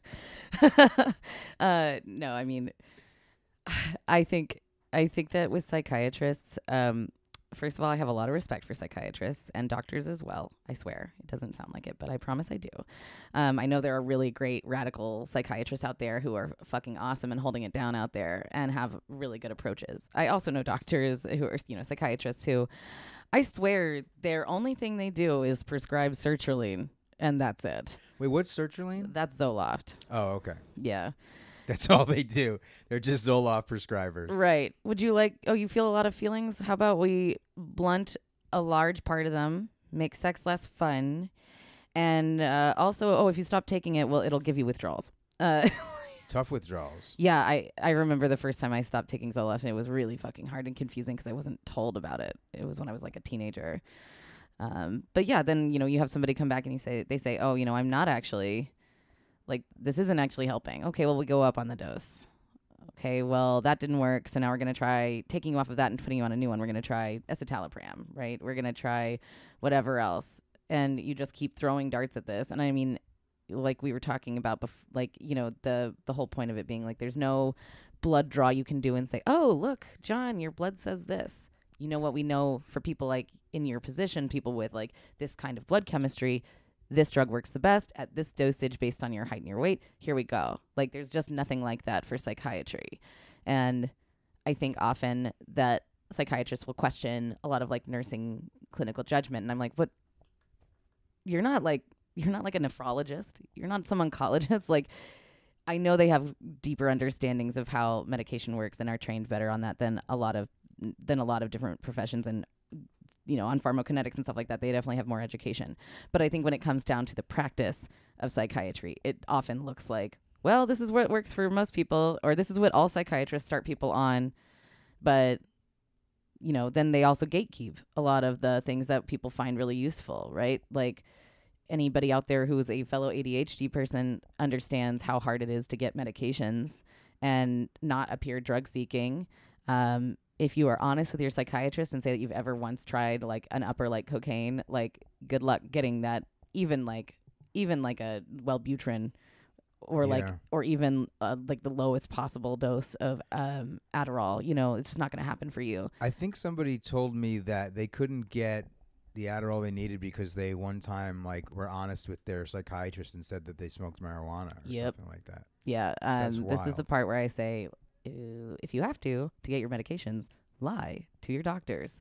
I'm I hate to say it, but like that's like when when I know people who are really struggling with ADHD and like maybe they were on meds in the past, but they you know lost access right for a few years, and they're like, oh god, I'm really fucking struggling. I was doing much better on that. I really want to try to get it back. Um, I always coach my friends and say, listen, you say you tried, you know, you tried pot a few times in college, but that it wasn't really your thing. And you know, lots of people who use it, but like, again, never really picked it up because it's not your thing, right? You drink occasionally, only on weekends and special occasions.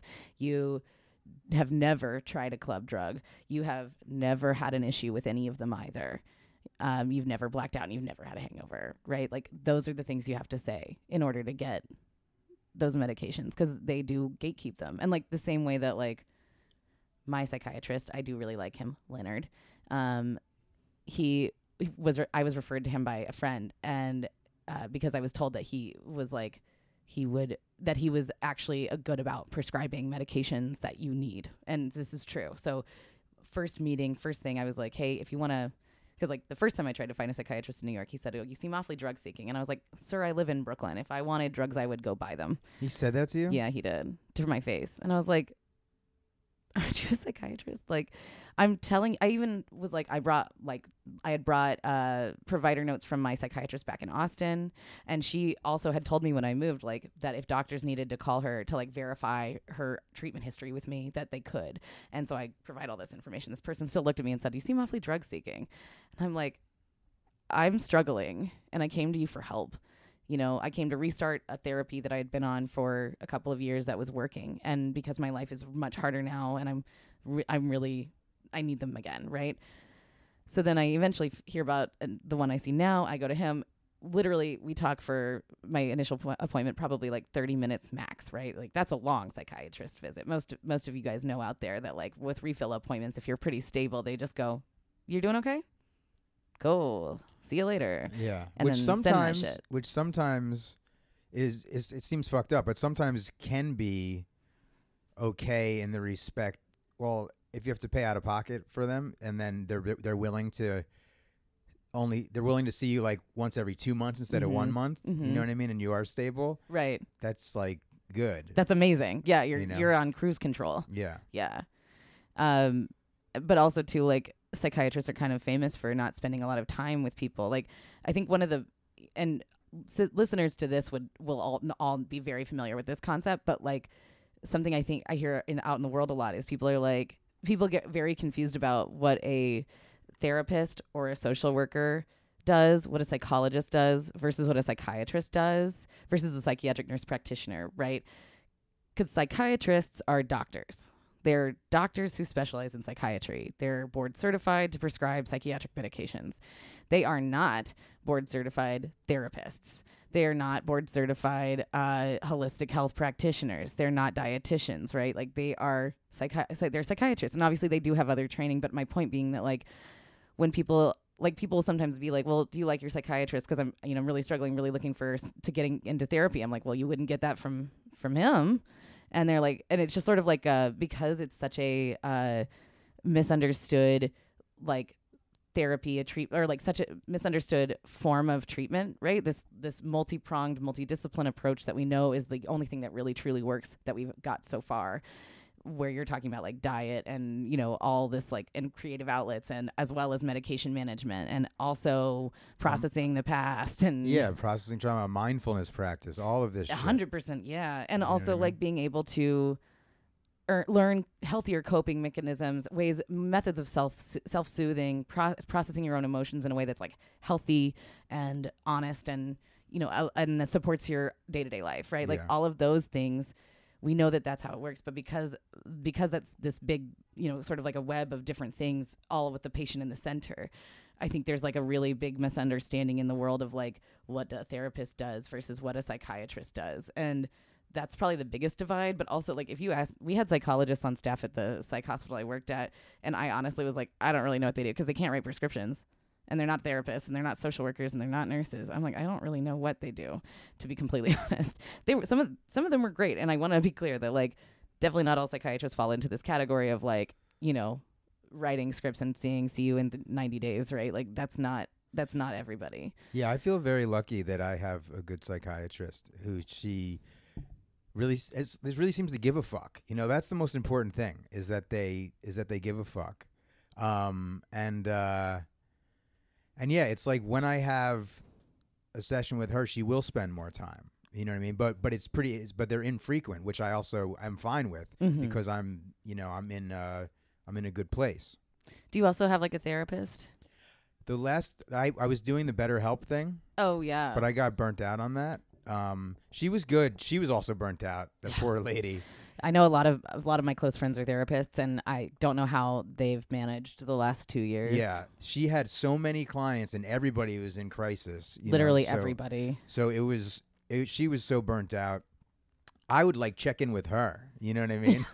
Every session, I would be like, "How are you?" And she would tell. Me she would talk about it. You know what I mean? She's like, I have another patient who I'm like really worried about. yeah, Yeah. yeah. Which is like usually a therapist when you ask them about themselves, they kind of are like, "All right, let's get back to you." Yeah. You This is this mean? appointment's about you. Yeah. That's what I always say. Yeah, yeah, yeah. Um, but then I just felt like I wasn't. I would just be there. and I'm like, I don't even have. I don't know. I'm just. I feel like you're just like checking in with me. It doesn't feel like any sort of therapy. I'm not making any progress here. Mhm. Um, That's real. so I have to see about if I want to get a like a, a talk therapist again.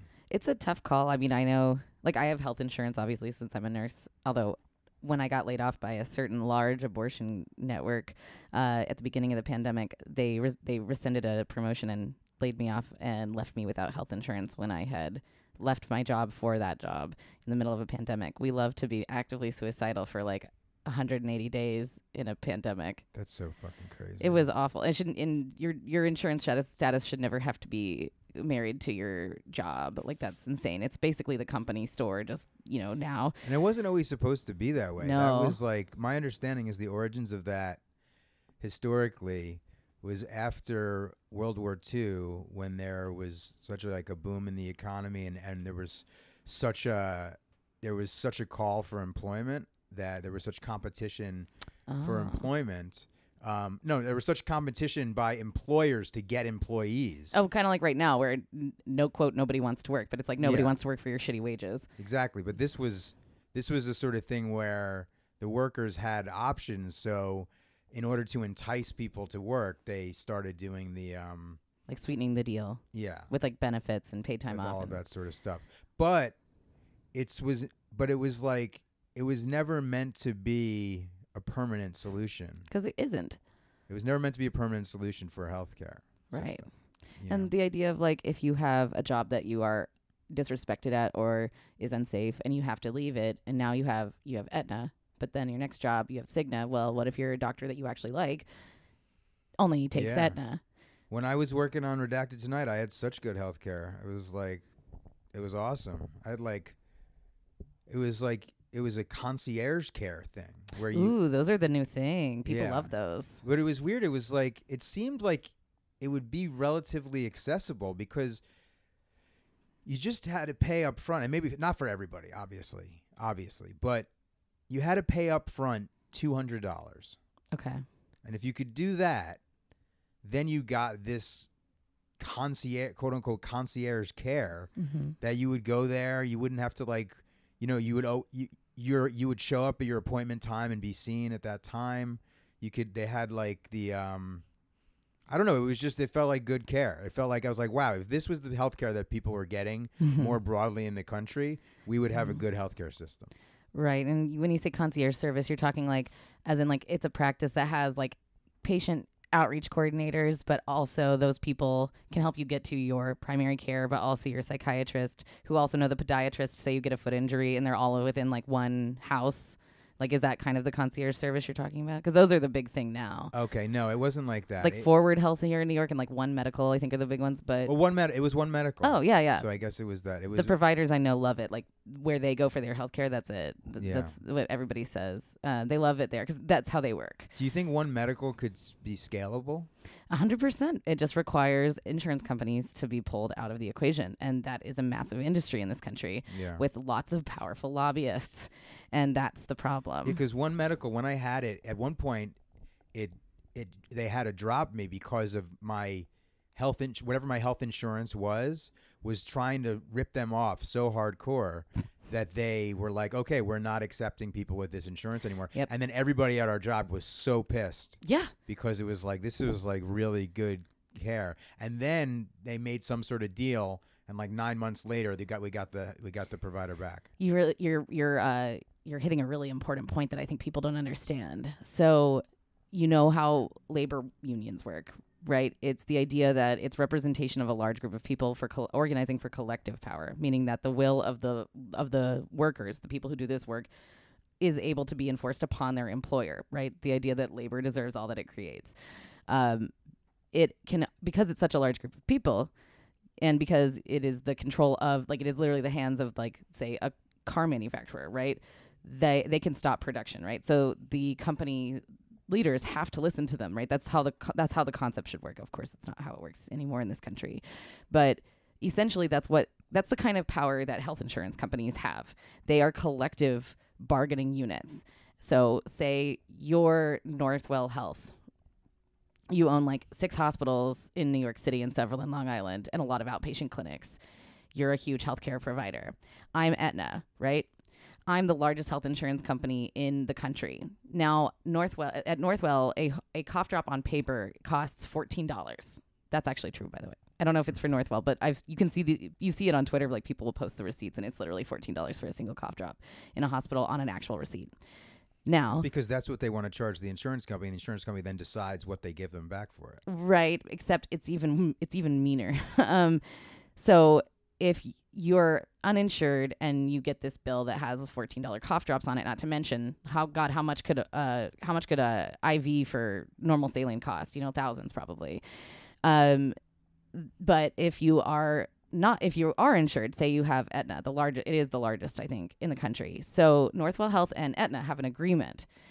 Aetna because they say, well, we have the most insured people in the country under our umbrella. You want our business because we're the largest health insurance company in the country. We want to be able to offer your services to our consumers. You should cut us a better deal than say Cigna because they're so much smaller. Or if it's anything smaller than Cigna, like the big three, like then forget it. You know, and then that's like, like Medicaid and stuff comes in too, but that's down the line. But the whole point being that like, so I'm this massive company and I have all of these members, these consumers. You want to cut them a better deal because I'm so big. So we get a better deal than say the people who get United because they have a collective power that they are enforcing upon the hospitals who are charging them for their services, but say you want all of our consumers, right? Yeah, and we don't do the reverse of that, which would be using bargaining to lower prescription uh, medication prices. Right. Right. Or Yeah. anything else. Um, or It's pay for behavioral health, anything. Like therapy is ridiculous in this country. And oh, and luxury bones like teeth. And you and I are both glasses people. Apparently, eyes aren't that important either. That's a different kind of health insurance than Yeah, it's crazy. how. It's how so the fuck is that possible? It's nuts. And all the psychiatrists, everybody's out of network. Okay. Every psychiatrist is out of network. The only ones that are not out of network work in like uh, a clinic setting, and you can't get appointments with them. Right. Um, and you know what? I had a I had a psychiatrist in D.C. who was sort of in and out of network, right? Um, but he, it but the but and so he took my he took my insurance, but he was making like nothing. It was almost doing it to me as like a favor because he like liked me or something like that. You know what I mean? Maybe he was a compassionate provider. They do exist. Yeah, but I mean, it's not fair to him. Oh, of course not. No.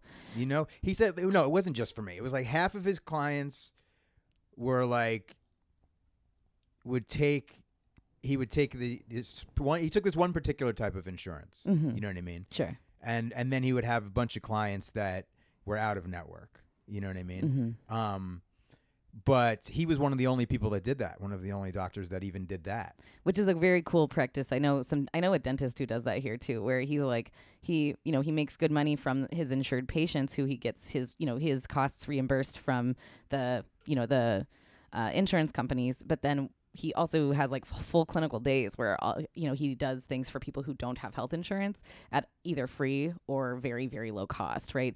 Things like getting your wisdom teeth out are extreme. That's like that's really important Yeah.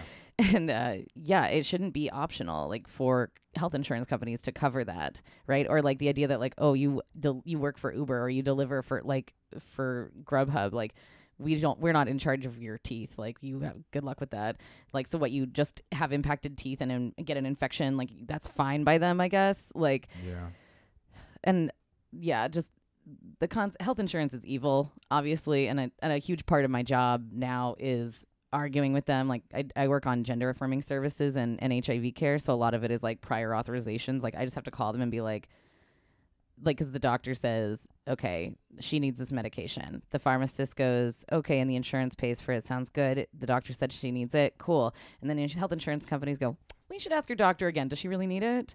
And then nurses and doctors have to call the health insurance company and say, here's the diagnosis code, here's the billing code, and yes, she needs it. Please fucking fill the prescription like I asked you to. As if like they would write something for fun. Yeah. Like if you've ever met a doctor, you know they don't write any prescriptions for fun. yeah. Just try like try getting an Ativan prescription without like the world's most serious panic disorder. Like a friend of mine told me recently that they got their doctor, their psychiatrist to give them like the like the it's like a 0.5 milligram dose of um of another benzo and I was like, "What did you do? Did you suck the? Did you suck his dick?" I was like, "What's his name? Who's the psychiatrist at?" Because like literally, good luck getting a benzo ever. Yeah. And, like, yeah. and that's a response to the way that we've handled the opioid crisis, which is like they've turned off the sink to uh, what used to be free flowing, right? And now they're afraid that any any poorly written prescription for something that could alleg- that is a narcotic or in any way fun could potentially be trigger a DEA investigation and they could lose their license, right? So now you get people who are like refusing to literally like I know a psychiatrist who bragged to me once. She was like, "Yeah, I've been practicing for 7 years and I've never written a prescription for a benzo." And I was like, "So if you're saying you outright never will and you never have and you never intend to, I don't understand like." And she said that for that and for um Adderall. And I was like, "Those are those are medications. Like you can argue that like yes, obviously like like opioids have done on you know incalculable damage, but those medications also are important, right? Like they help people in the hospice care. They also help relieve despair, like despair. They help relieve like pain when people are dying. Like this is all important, respectful healthcare stuff that should be honored. It's not that they are categorically bad, and seeing medication as categorically bad is to me a really big mistake. Like Yeah. all medication comes with side effects, right? But again, it's like that choice you're making, right? Like medicine isn't about necessarily like m- taking medication isn't necessarily about like, oh, this has this will do this everything you need but nothing you don't want. Here you go. No, like the whole point of med- like med- practicing medicine is about life and also death, right? It's about benefits and also risks, right? Like that's how every medication works. And to say categorically that this one only harms is incorrect. Yeah, well, it seems like you're saying they're trying to cover their own ass at the expense of doing what's best for patients. Right. And now I know people who buy street benzos, right? And then they they dissolved a pill and did a fentanyl test strip and it came up positive and it turns out instead of taking uh, what they thought was uh uh I think they thought it was Xanax. Yeah. And they took it daily. Was mostly fentanyl and they'd been taking it daily for a really long time. So they were like, "Should I stop?" And I was like, "Nope. You're going to go into withdrawal." You should taper off really slowly. You should consider trying to t- find a doctor who will help you do that. But like, and that's what people do. Like people, we all know this. Like guns being illegal doesn't stop people from buying guns, right? And something being hard to get doesn't mean people won't, right? And then people look to other sources where they're less safe, they're less regulated. Not to say that regulation equals safety, but the idea of like you don't know what you're getting when it's a pressed pill from some person. Yeah. But people are, ha- people will want those things, and I'm not. Ne- yeah, I guess the I guess the answer isn't necessarily doctors should just write them freely, but I also don't think the answer is okay. Well, now nobody gets it. like that medication does things and it has benefits. It's not for everybody, but like that's the point of practicing medicine. It's your job to figure out who should. Yeah. Yeah. Um is there anything uh, is there any more shit you want to talk about psychiatrists? oh, um, I have a, re- a recommendation. I don't know if I said this in the first episode um, that we did back in 2020, but um, because I, I can't listen to my own voice. So I had a friend reach out though who listened to Keith and the Girl for years, and a friend of mine I've known since I was eight, and she was like, "Hey, you were on my friend. You, were, I love this podcast." I was like, "Oh my god, whoa, crazy!" Oh, that's it was very sweet. That's Um, cool. And um, I was like, "Oh wow, the world is actually small." Um, Yeah. but uh, where was I going with that? Oh yeah, this book was recommended to me by a very cool radical psychiatrist called. It's called um, the protest psychosis and it's a really interesting book about schizophrenia and its racist history um, because schizophrenia as a as a diagnosis is i mean wow talk about the racial segregation there i know we talked about this in 2020 Yeah, yeah we did. but the book recommendation stands it's really good um, there are a lot of psychiatrists out there who are working to right the wrongs of a very bad history and shout out to them um, and those and their and their liberation their liberation focused mindset and the way that they practice um, because it's all too rare but so there i don't mean to disparage all psychiatrists yeah, yeah. No, I was saying like I I think that I guess like anything there's good ones and bad ones, you know? true and actually at the end of the day they're just people Yeah. Yeah. It's true. Um so did you want to talk about some we can we can do two things. We can talk a little about uh, alternative treatments hmm um and then anything else you want to talk about and then we can wrap it up. Okay, sounds good. Um, the alternative treatments uh, that we have for like CPEP specifically, is that what you're talking about? Uh Or do you mean more like the holistic approach to things? Because I think you're definitely the expert on those things. well like the uh the ACT teams and stuff oh like yeah, that? yeah, yeah. Okay, so like if you are admitted to like an inpatient stay, right? Say you're there for like a couple of weeks, and now you're stable, but they need to discharge you when you're the closest to stable, so that because they need a new bed for somebody who's a lot more acutely ill. Okay, so you get sent home, right?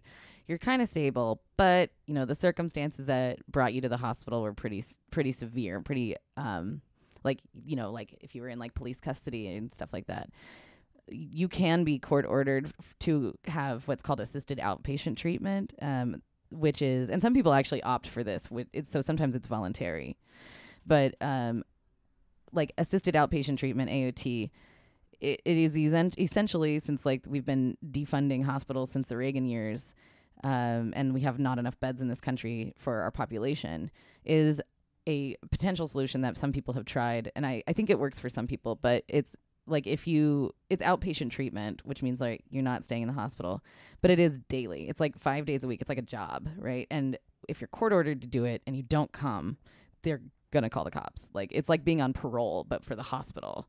Um, and the idea is to keep monitoring your your stability and your your wellness while you're still in the community. So like the good news is you're not locked up in there.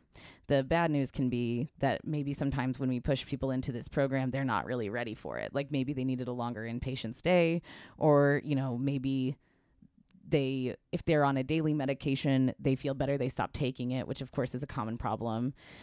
Yeah. or you know like we have these long acting injectables now that um, a lot of people who have many many episodes a year uh, actually find really helpful for for I'm talking about psychosis here like mostly it's schizophrenia and, and schizoaffective um, related disorders that are like injectables that last for like six weeks or like a 30 or like 28 days Yeah, how do those slow release injectables, how does that work? it's very cool science. Um, so the way the medication is formulated is to essentially slowly release over time. We put it into a muscle and and sometimes underneath the muscle. This this also exists for um, substance use treatment. We have um, uh, naltrexone, which is um, something that helps decrease the desire to drink, but it's also being studied in methamphetamine.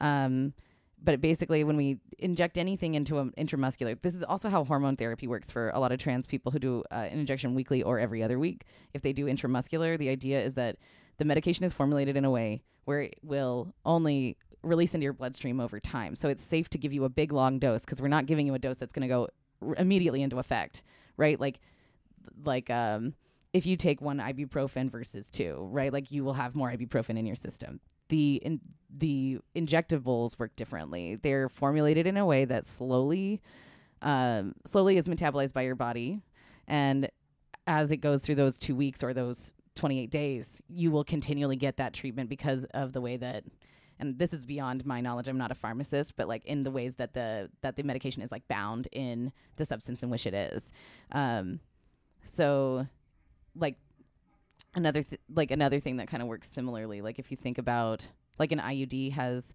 um, contraceptive progesterone in its in in the there's a, something that wraps around the IUD that's plastic and it ha- it is engineered to slowly because of the heat of your body release slow microgram doses of the progesterone locally to your uterus over 7 years which is why or different years for different IUDs but you get the point. Like it is very cool biotechnology that has figured out how to make this happen um, and the long acting injectables for things like like schizophrenia I think a lot of people um, who struggle to take their da- their daily medication, or again for people on naltrexone who you know they might be really seeking sobriety and have these you know starts where they're like, "This is it. I'm fucking doing it. I want to be abstinent. I'm I'm going for it. Right? Like I, I'm so dedicated to it." But then two weeks later, they like if they're less engaged in care or like they lose access to care, what have you, or they're just going through stress of living a daily life they might lose that. They know that personally they falter there. They can opt for this injectable injectable that will cover them for those 28 days. So when they have those all they need is to find that burst and that dedication to sobriety or whatever whatever word you'd like to use for that um, it every 28 days to get that come and get that injection. Whereas if they're taking the da- the daily pill form of naltrexone they know that they might come 2 weeks from now intentionally stop taking it. And they know that that would help that would give them a lot more likelihood that would increase their likelihood of re-engaging in use that they're trying to stop long term right? So it's a very good option for people who know that uh, that about their own behaviors. With schizophrenia it's a little bit different right? Like you may n- you you may not understand we don't always know what causes we don't know very much about schizophrenia and it's a really troublesome diagnosis in many ways but like if you know for a fact that you experience like something like 20 like 10 to 20 episodes of psychosis a year where you end up in custody or you end up in the CPEP and you're like I'm fucking sick of living this way. I can't keep, you know, my relationships together. I can't, you know, and of course too it, it depends on your ability to um to like process that about your own life.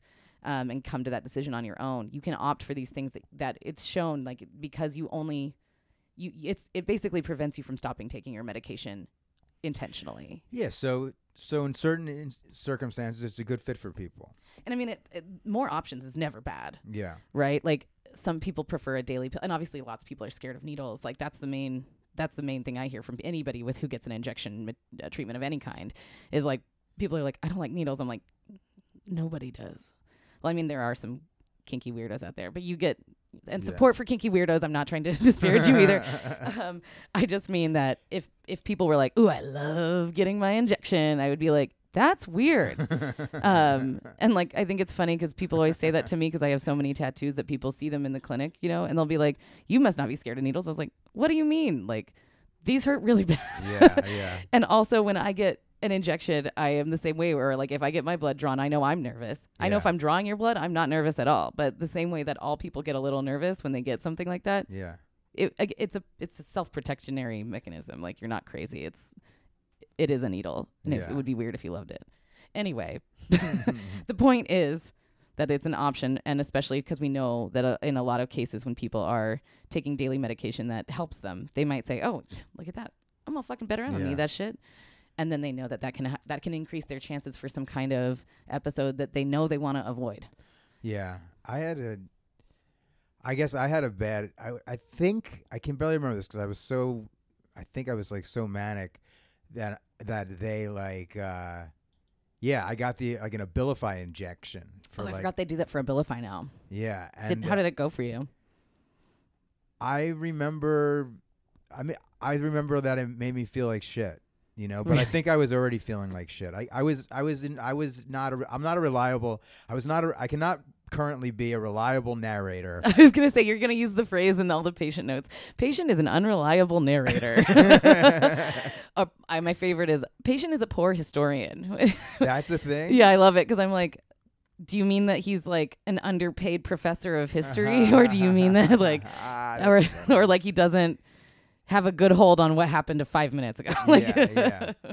I can't. I just remember not enjoying it, but I, Yeah. I was, I don't know, for, for whatever reason, for me, like being injected with a medication that I'm knowing that knowing there's so much of it in there that's slowly being released into me outside of my control mm-hmm. just freaks me out. I can understand that. Yeah. I don't know. Well, it's um, because it is it is kind of freaky, and I definitely understand that. It's like just it's just about the like so if you are given an injection of Ativan, right, and it's two milligrams versus like another injection that's four milligrams, your body's gonna metabolize all four milligrams at once, right? That's more of a dose at the same time that your body's exposed to immediately. Um, similarly, Vyvanse works like this too. Like uh, in in a, I'm saying for the long release. So in capsules of Vyvanse or lisdexamfetamine is its generic name, there are different size like little pellets of the medication. The small ones your body metabolizes really quickly. They dissolve as you swallow it. They come right your kidney processes it, dumps it right out. You know, you're getting the benefit of that first few of the smaller ones. Then they're graduated in size throughout the day. So as they keep going in your system and they slowly dissolve and your body slowly metabolizes the larger ones, those are the ones you get at hour 12. So that way it's considered quote unabusable, which is a dare. Uh, if, if I've ever heard one, but it, um, I actually do really prefer it. Um, that's the medication. It's a medication that I take because rather than Adderall, where you get this boom, like you're gonna get it all at once. They do have an extended release Adderall, but classic Adderall is literally like you get this like jet fuel, and then like as the day goes on, which you know, because we live in this kind of world, you probably work like 18 hours a day. You won't have that same focus. That won't you won't have that same therapeutic benefit at hour 12, whereas with Vyvanse you do Okay. but it's kind of the same concept as the long acting injectables the idea that your body is we're just using what your your normal metabolism in your kidneys and in your uh, by your liver all of these things to your benefit but obviously i can understand why people don't like necessarily getting that treatment for sure I mean, yeah. I, I mean, I just don't like it. But, yeah and that's but- totally a good enough reason But yeah, but that explanation makes me less like uh scared of it less scared of it or less less having less of a stigma towards it. You know. but again it's just another option and options are things that people in this particular case like in mental in like mental health we don't get a lot of options Yeah. I think that it's it's such a complicated situation because it's there's no there's nobody really has a total path to what needs to happen for everybody to be okay. and yeah. people are trying. There's people that are very uh, you know, committed to the situation and no pun intended. And I think that I think that I wish that education and preventative care was something that we really, really uh, valued and really saw as important as acute care. A hundred percent. Yeah, especially in this particular field. Yeah, yeah, because they're really because a lot of times it's the sort of thing where if someone is really fucked up, they're not taking care of their mental health or anything like that, and then they end up in the hospital, they probably haven't begun that process of working in any sort of holistic way on their mental health. And if we Right. just would if we're taught that in schools growing up, I feel like the ripple effect of that could really be something positive. Oh, totally. I agree with you. And like actually on that same note, the the other another alternative thing out there is the assertive community treatment teams or ACT teams, which I think actually speaks to your point about like start thinking about prevention, right? Cuz like I'm glad the CPEP exists for when it has to, but um why aren't we trying harder to prevent the instances that people land there, right? Because there are things we can do. We're not completely powerless. Our And- culture's doing the opposite. It's like driving people into insanity literally on a daily basis. yeah it turns out that if you don't have shelter or you can't be safe that um that might actually make you crazy yeah. like is that is that a delusion or is that a normal reaction to the state of things Yeah. i don't know psychiatrists disagree but the um but i have some friends who work on act teams which i think are an important thing and they're also far from perfect but i do think that like so I don't think you would be a candidate, obviously, for this kind of. You have like a plan and you are doing great, but like for people who really struggle, uh, th- I think it's more often it's not bipolar folks. It's mostly people who experience like really strong psychosis, like um, like dissociative identity disorders and um, different uh, types of schizophrenia and like the those kinds of uh, diagnoses where the prevention element is like we have only recently really started to try to do anything about that, right? Um, the ACT teams, um, it's like a team of people. It's usually mil- like multidisciplinary, like an RN maybe, um, or uh, and a medical assistant, or um, also like therapists and social workers, and they're in the community, right? Like the patients are are they're not in the hospital. They might have a very severe diagnosis, and they the ACT team meets shows up to their house to um, you know like the same way that like I don't know if this is for you, but for me, like I can tell like I'm not doing well when my room's like a fucking mess. It's like, you know, like you know, you're just not caring for yourself, right? Like these are ways that we can assess somebody's like closeness to like an episode or something. Like if they're all of a sudden they're really not showering, Yeah. right? Or they they have like they're starting to verbalize the beginnings of what could become a big delusion down the line, right? So then it's like, oh, this is a flag that we should flag for the psychiatrist because we might need to think about either changing the therapy or or like changing how often we're checking in on this person because we're trying to prevent the episode from happening. Now, these are also again underfunded ch- plans and a lot of, you know, it, it I think it's a good thing that exists, but I know that my friends who are on ACT teams here in New York will tell me that like it's really sad to sometimes like see these folks really struggle with like the medication that they know keeps them from out from out of the hospital but has other side effects right? Like the weight gain or like um, all the different like EPS sym- symptoms like all the like tongue twirling and all the other stuff that com- can come along with it. Like it's just trying to meet like rather than throwing people into the hospital as like the only option we have is trying to like meet them in the community where they actually are. Try to get them help before it's acute. And i think i think it's a good option but obviously it cannot replace the full system like we, Yeah. that and it's definitely not appropriate for everybody right? Yeah, like i don't yeah. like i don't think my diagnoses require that. I don't think like yours does either in our cases but like it is something that for people who there aren't very many other options. It, i'm glad it exists but i just don't know that it's sufficient. It's a good idea. Yeah, yeah. Something that uh, I don't know if we ever talked about this. So there's something in certain in certain states. It's only in a few states called uh, mental health court, huh mental tell me health more community court, where ba- where I was able to g- I got to go to mental health court in D.C. because I got arrested, you know, because I like thought I could shoplift. I was like manic. I tried to buy some flatbread, like I was trying to buy like a, a flatbread pizza thing, and I didn't have any money. The card didn't work, but I was convinced that like the NSA shut off my money. You know what I mean? Because I was like exposing some truth about something or whatever.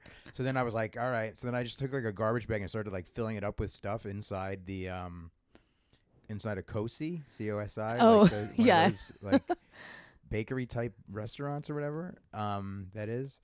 And then it was crazy. The people that worked there locked me in.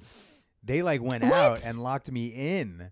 with by, by yourself I don't think anybody else was in there because how would they? Why would they lock themselves in with somebody that's doing something like that? But I remember I got locked in until oh the my co- god until the cop showed up, uh, and then I got arrested. So then I had to go to jail. But then, so then, um, when it came to like the court thing, uh, I was able to get into something called mental health community court, where it's like people that don't have like uh, offenses in the past but have like a history of mental health issues can go in front of this mental health court, and if you do all the things you're supposed to do, as in see your doctor, take your medication, uh, et cetera, et cetera, whatever they, whatever you have to go through, you have to, and then you go back to this court once a month for like four months, and if you stay clean, to stay clean and do all of those things, then the charges get dismissed. that is a very good alternative to just giving people records Yeah, yeah, yeah, yeah, and uh, and I I graduated from mental health community court. They gave me a so certificate proud of you and a and a coin that said uh, uh, "Life is a journey," and then they give me a, a bracelet that said like uh, "Life is a journey." My mind is strong. Ooh. Life is a journey. I wanna ride. My mind is strong. well, I mean, your mind sounded pretty strong also when you decided that the NSA had took taken all your money. Yeah. your mind has always been strong. I think that's part of it. Thank you. um. So, what? Uh. Any. Any. Anything else you wanna you wanna say? Mm, uh, I don't, you know, I don't think so. Somehow you might be the only person who's gotten me to ever shut up. You are such a good talker. You're great for podcast interviews Thanks. because you'll just go. It's not like I ever have to try to be like, "Come on, come on." You're like, that's You're funny. a great person to interview, and it's so insightful. It's wonderful. It's really great to hear this perspective. Um, you know, because a lot of times I'm interviewing people with uh, with diagnoses, and we're going from that angle. And we've talked about your diagnoses and stuff like that as well. And I think it's so cool how you're open about that, and you have the whole nursing side of stuff. Uh, it's uh, it's really a gift Well, for thank you. the uh, psychopath community well, and I get to hear for appreciate. I think thank you very much. But also I think I want to thank like you specifically also like we're talking a lot a lot about really personal, really tough shit and like you are able to like self disclose that stuff to me and like trust not just me but this whole community of people with that information like that takes a great amount of like trust and compassion for others. So like I want to be clear that like that is also like that is also a gift. And like I appreciate that you trust me and like that you can that you, you are so willing to share of your own like struggles because that is it's so stigmatized it's so hard right like it's y- y- i'm sure you've disclosed to people before and had it the reception be pretty negative right like Or just people weirded out, you know, feeling, yeah, yeah, yeah. and that's an unfortunate reality for a lot of different people and like taking that risk and being willing to understand that like some people won't get it and those who do you might actually be really helping to normalize and like like help connect like people who are struggling usually in silos completely alone isolated into a, a place where like maybe there is like a future beyond the one that we have now like that's a really important aspect of that kind of self-disclosure i think it requires a lot of trust and i appreciate that you trust me but not even just me but this whole community that benefits from you That's so nice to hear. Thank you. no Thank of you. course That's really cool. I appreciate that. I really do. I just don't give a fuck, you know. see that's where i'm at too people are always like oh you're just like an open book i'm like yeah because i don't care like you want to ask me about anything like i will talk loudly about syphilis at dinner if you want me to what kind of impression do you want me to make on your new partner like or your mom actually parents love me i'm i don't usually bring up syphilis around moms That's good. uh, can you let folks know if you want to? Can you let folks know how they can connect with you or anything like that? um i generally keep uh my uh well well, let's say no then. no yeah we're gonna say no I'm just so used people to. can reach out to you and you can connect through you can connect me to anybody who reaches out how's that That's fine. we'll do it I- in the back channels Okay, we'll do a back channel way. I'm so used to just uh, asking guests at the end. Right, yeah, I figured. shit, and they're just like, "Here, we, yeah, yeah, yeah, yeah, yeah." You can catch me at Cobra Club on Fridays doing No Doubt by Sunday morning. Yeah, she's referring to how after the comedy show at Cobra Club, there is karaoke, yes. and she rocks the mic for that. Oh, thank you. No, I Ah. just really love Gwen Stefani. Yes. Well, back back in the 90s. Okay. Sorry, yes. Gwen. Yes. Oh, poor Gwen. Um, She's fine. but yeah, so if you guys have any questions for Syd, feel free to email me at takeyourpillspod at gmail.com. I'll make sure that she gets them. Um, I'm definitely not against connecting to people. Like I want to hear from people. Uh, I just try to keep my my social media profile on the low. That's good. That's good for your mental health. Us comedians are forced to like pimp out our social medias like it's a fucking full time job. It's fucking awful, and I'm not good at it. I don't want to be good at it. It's like fuck you. No, that's it is not fair. I definitely like knowing a couple of comedians over the years. It seems really, it seems It's really bad for mental health. Oh, a hundred It's percent. mental illness inducing by design. God, no, I think about that all the time. Like even just like Instagram, like makeup tutorials, and it turns out that girl's probably in like the eighth grade. Yeah, it's fucked. It's fucked up. I can plug something that's important and relevant. yeah, do that. Okay, so we all know that Roe is dead and we knew that it was going to die. It doesn't change the horror of this very fucking moment. But so I want to plug the uh, New York Abortion Access Fund, NIAF, but also the National Network of Abortion Funds. Do not give your money to Planned Parenthood. I'm begging you. They do not need it. And also, like, they just use it for lobbying, which is like, they're right. But, like, you know, they will always have fucking celebrities like Scarlett Johansson to do fucking bullshit for them and fundraise for them. They don't need your goddamn money. People who need abortions and now have to get 800 miles away from home and babysitters and plane tickets and time off work all need your help. And those people are mostly in the South. Um, and definitely, like, there's funds that are helping people get there. And the best way to find the one closest to you or in an area that needs it is through the National Network of Abortion Funds on their website. And they are definitely, definitely need your help. Um, so if you care, donate there. Um, yes, please do that. Um, and uh, what I want to say is uh, I appreciate you guys so much listening. Uh, you psychos, this is awesome that you guys are part of this community. Um, this has been another episode of Take Your Pills Psychopath, the comedy podcast that exploits mental illness for personal profit. Trademark. What? I'm your host, John F. O'Donnell, JFOD, and I've been interviewing the wonderful Syd Casey. Thanks, Syd. Thank you. Thanks for listening.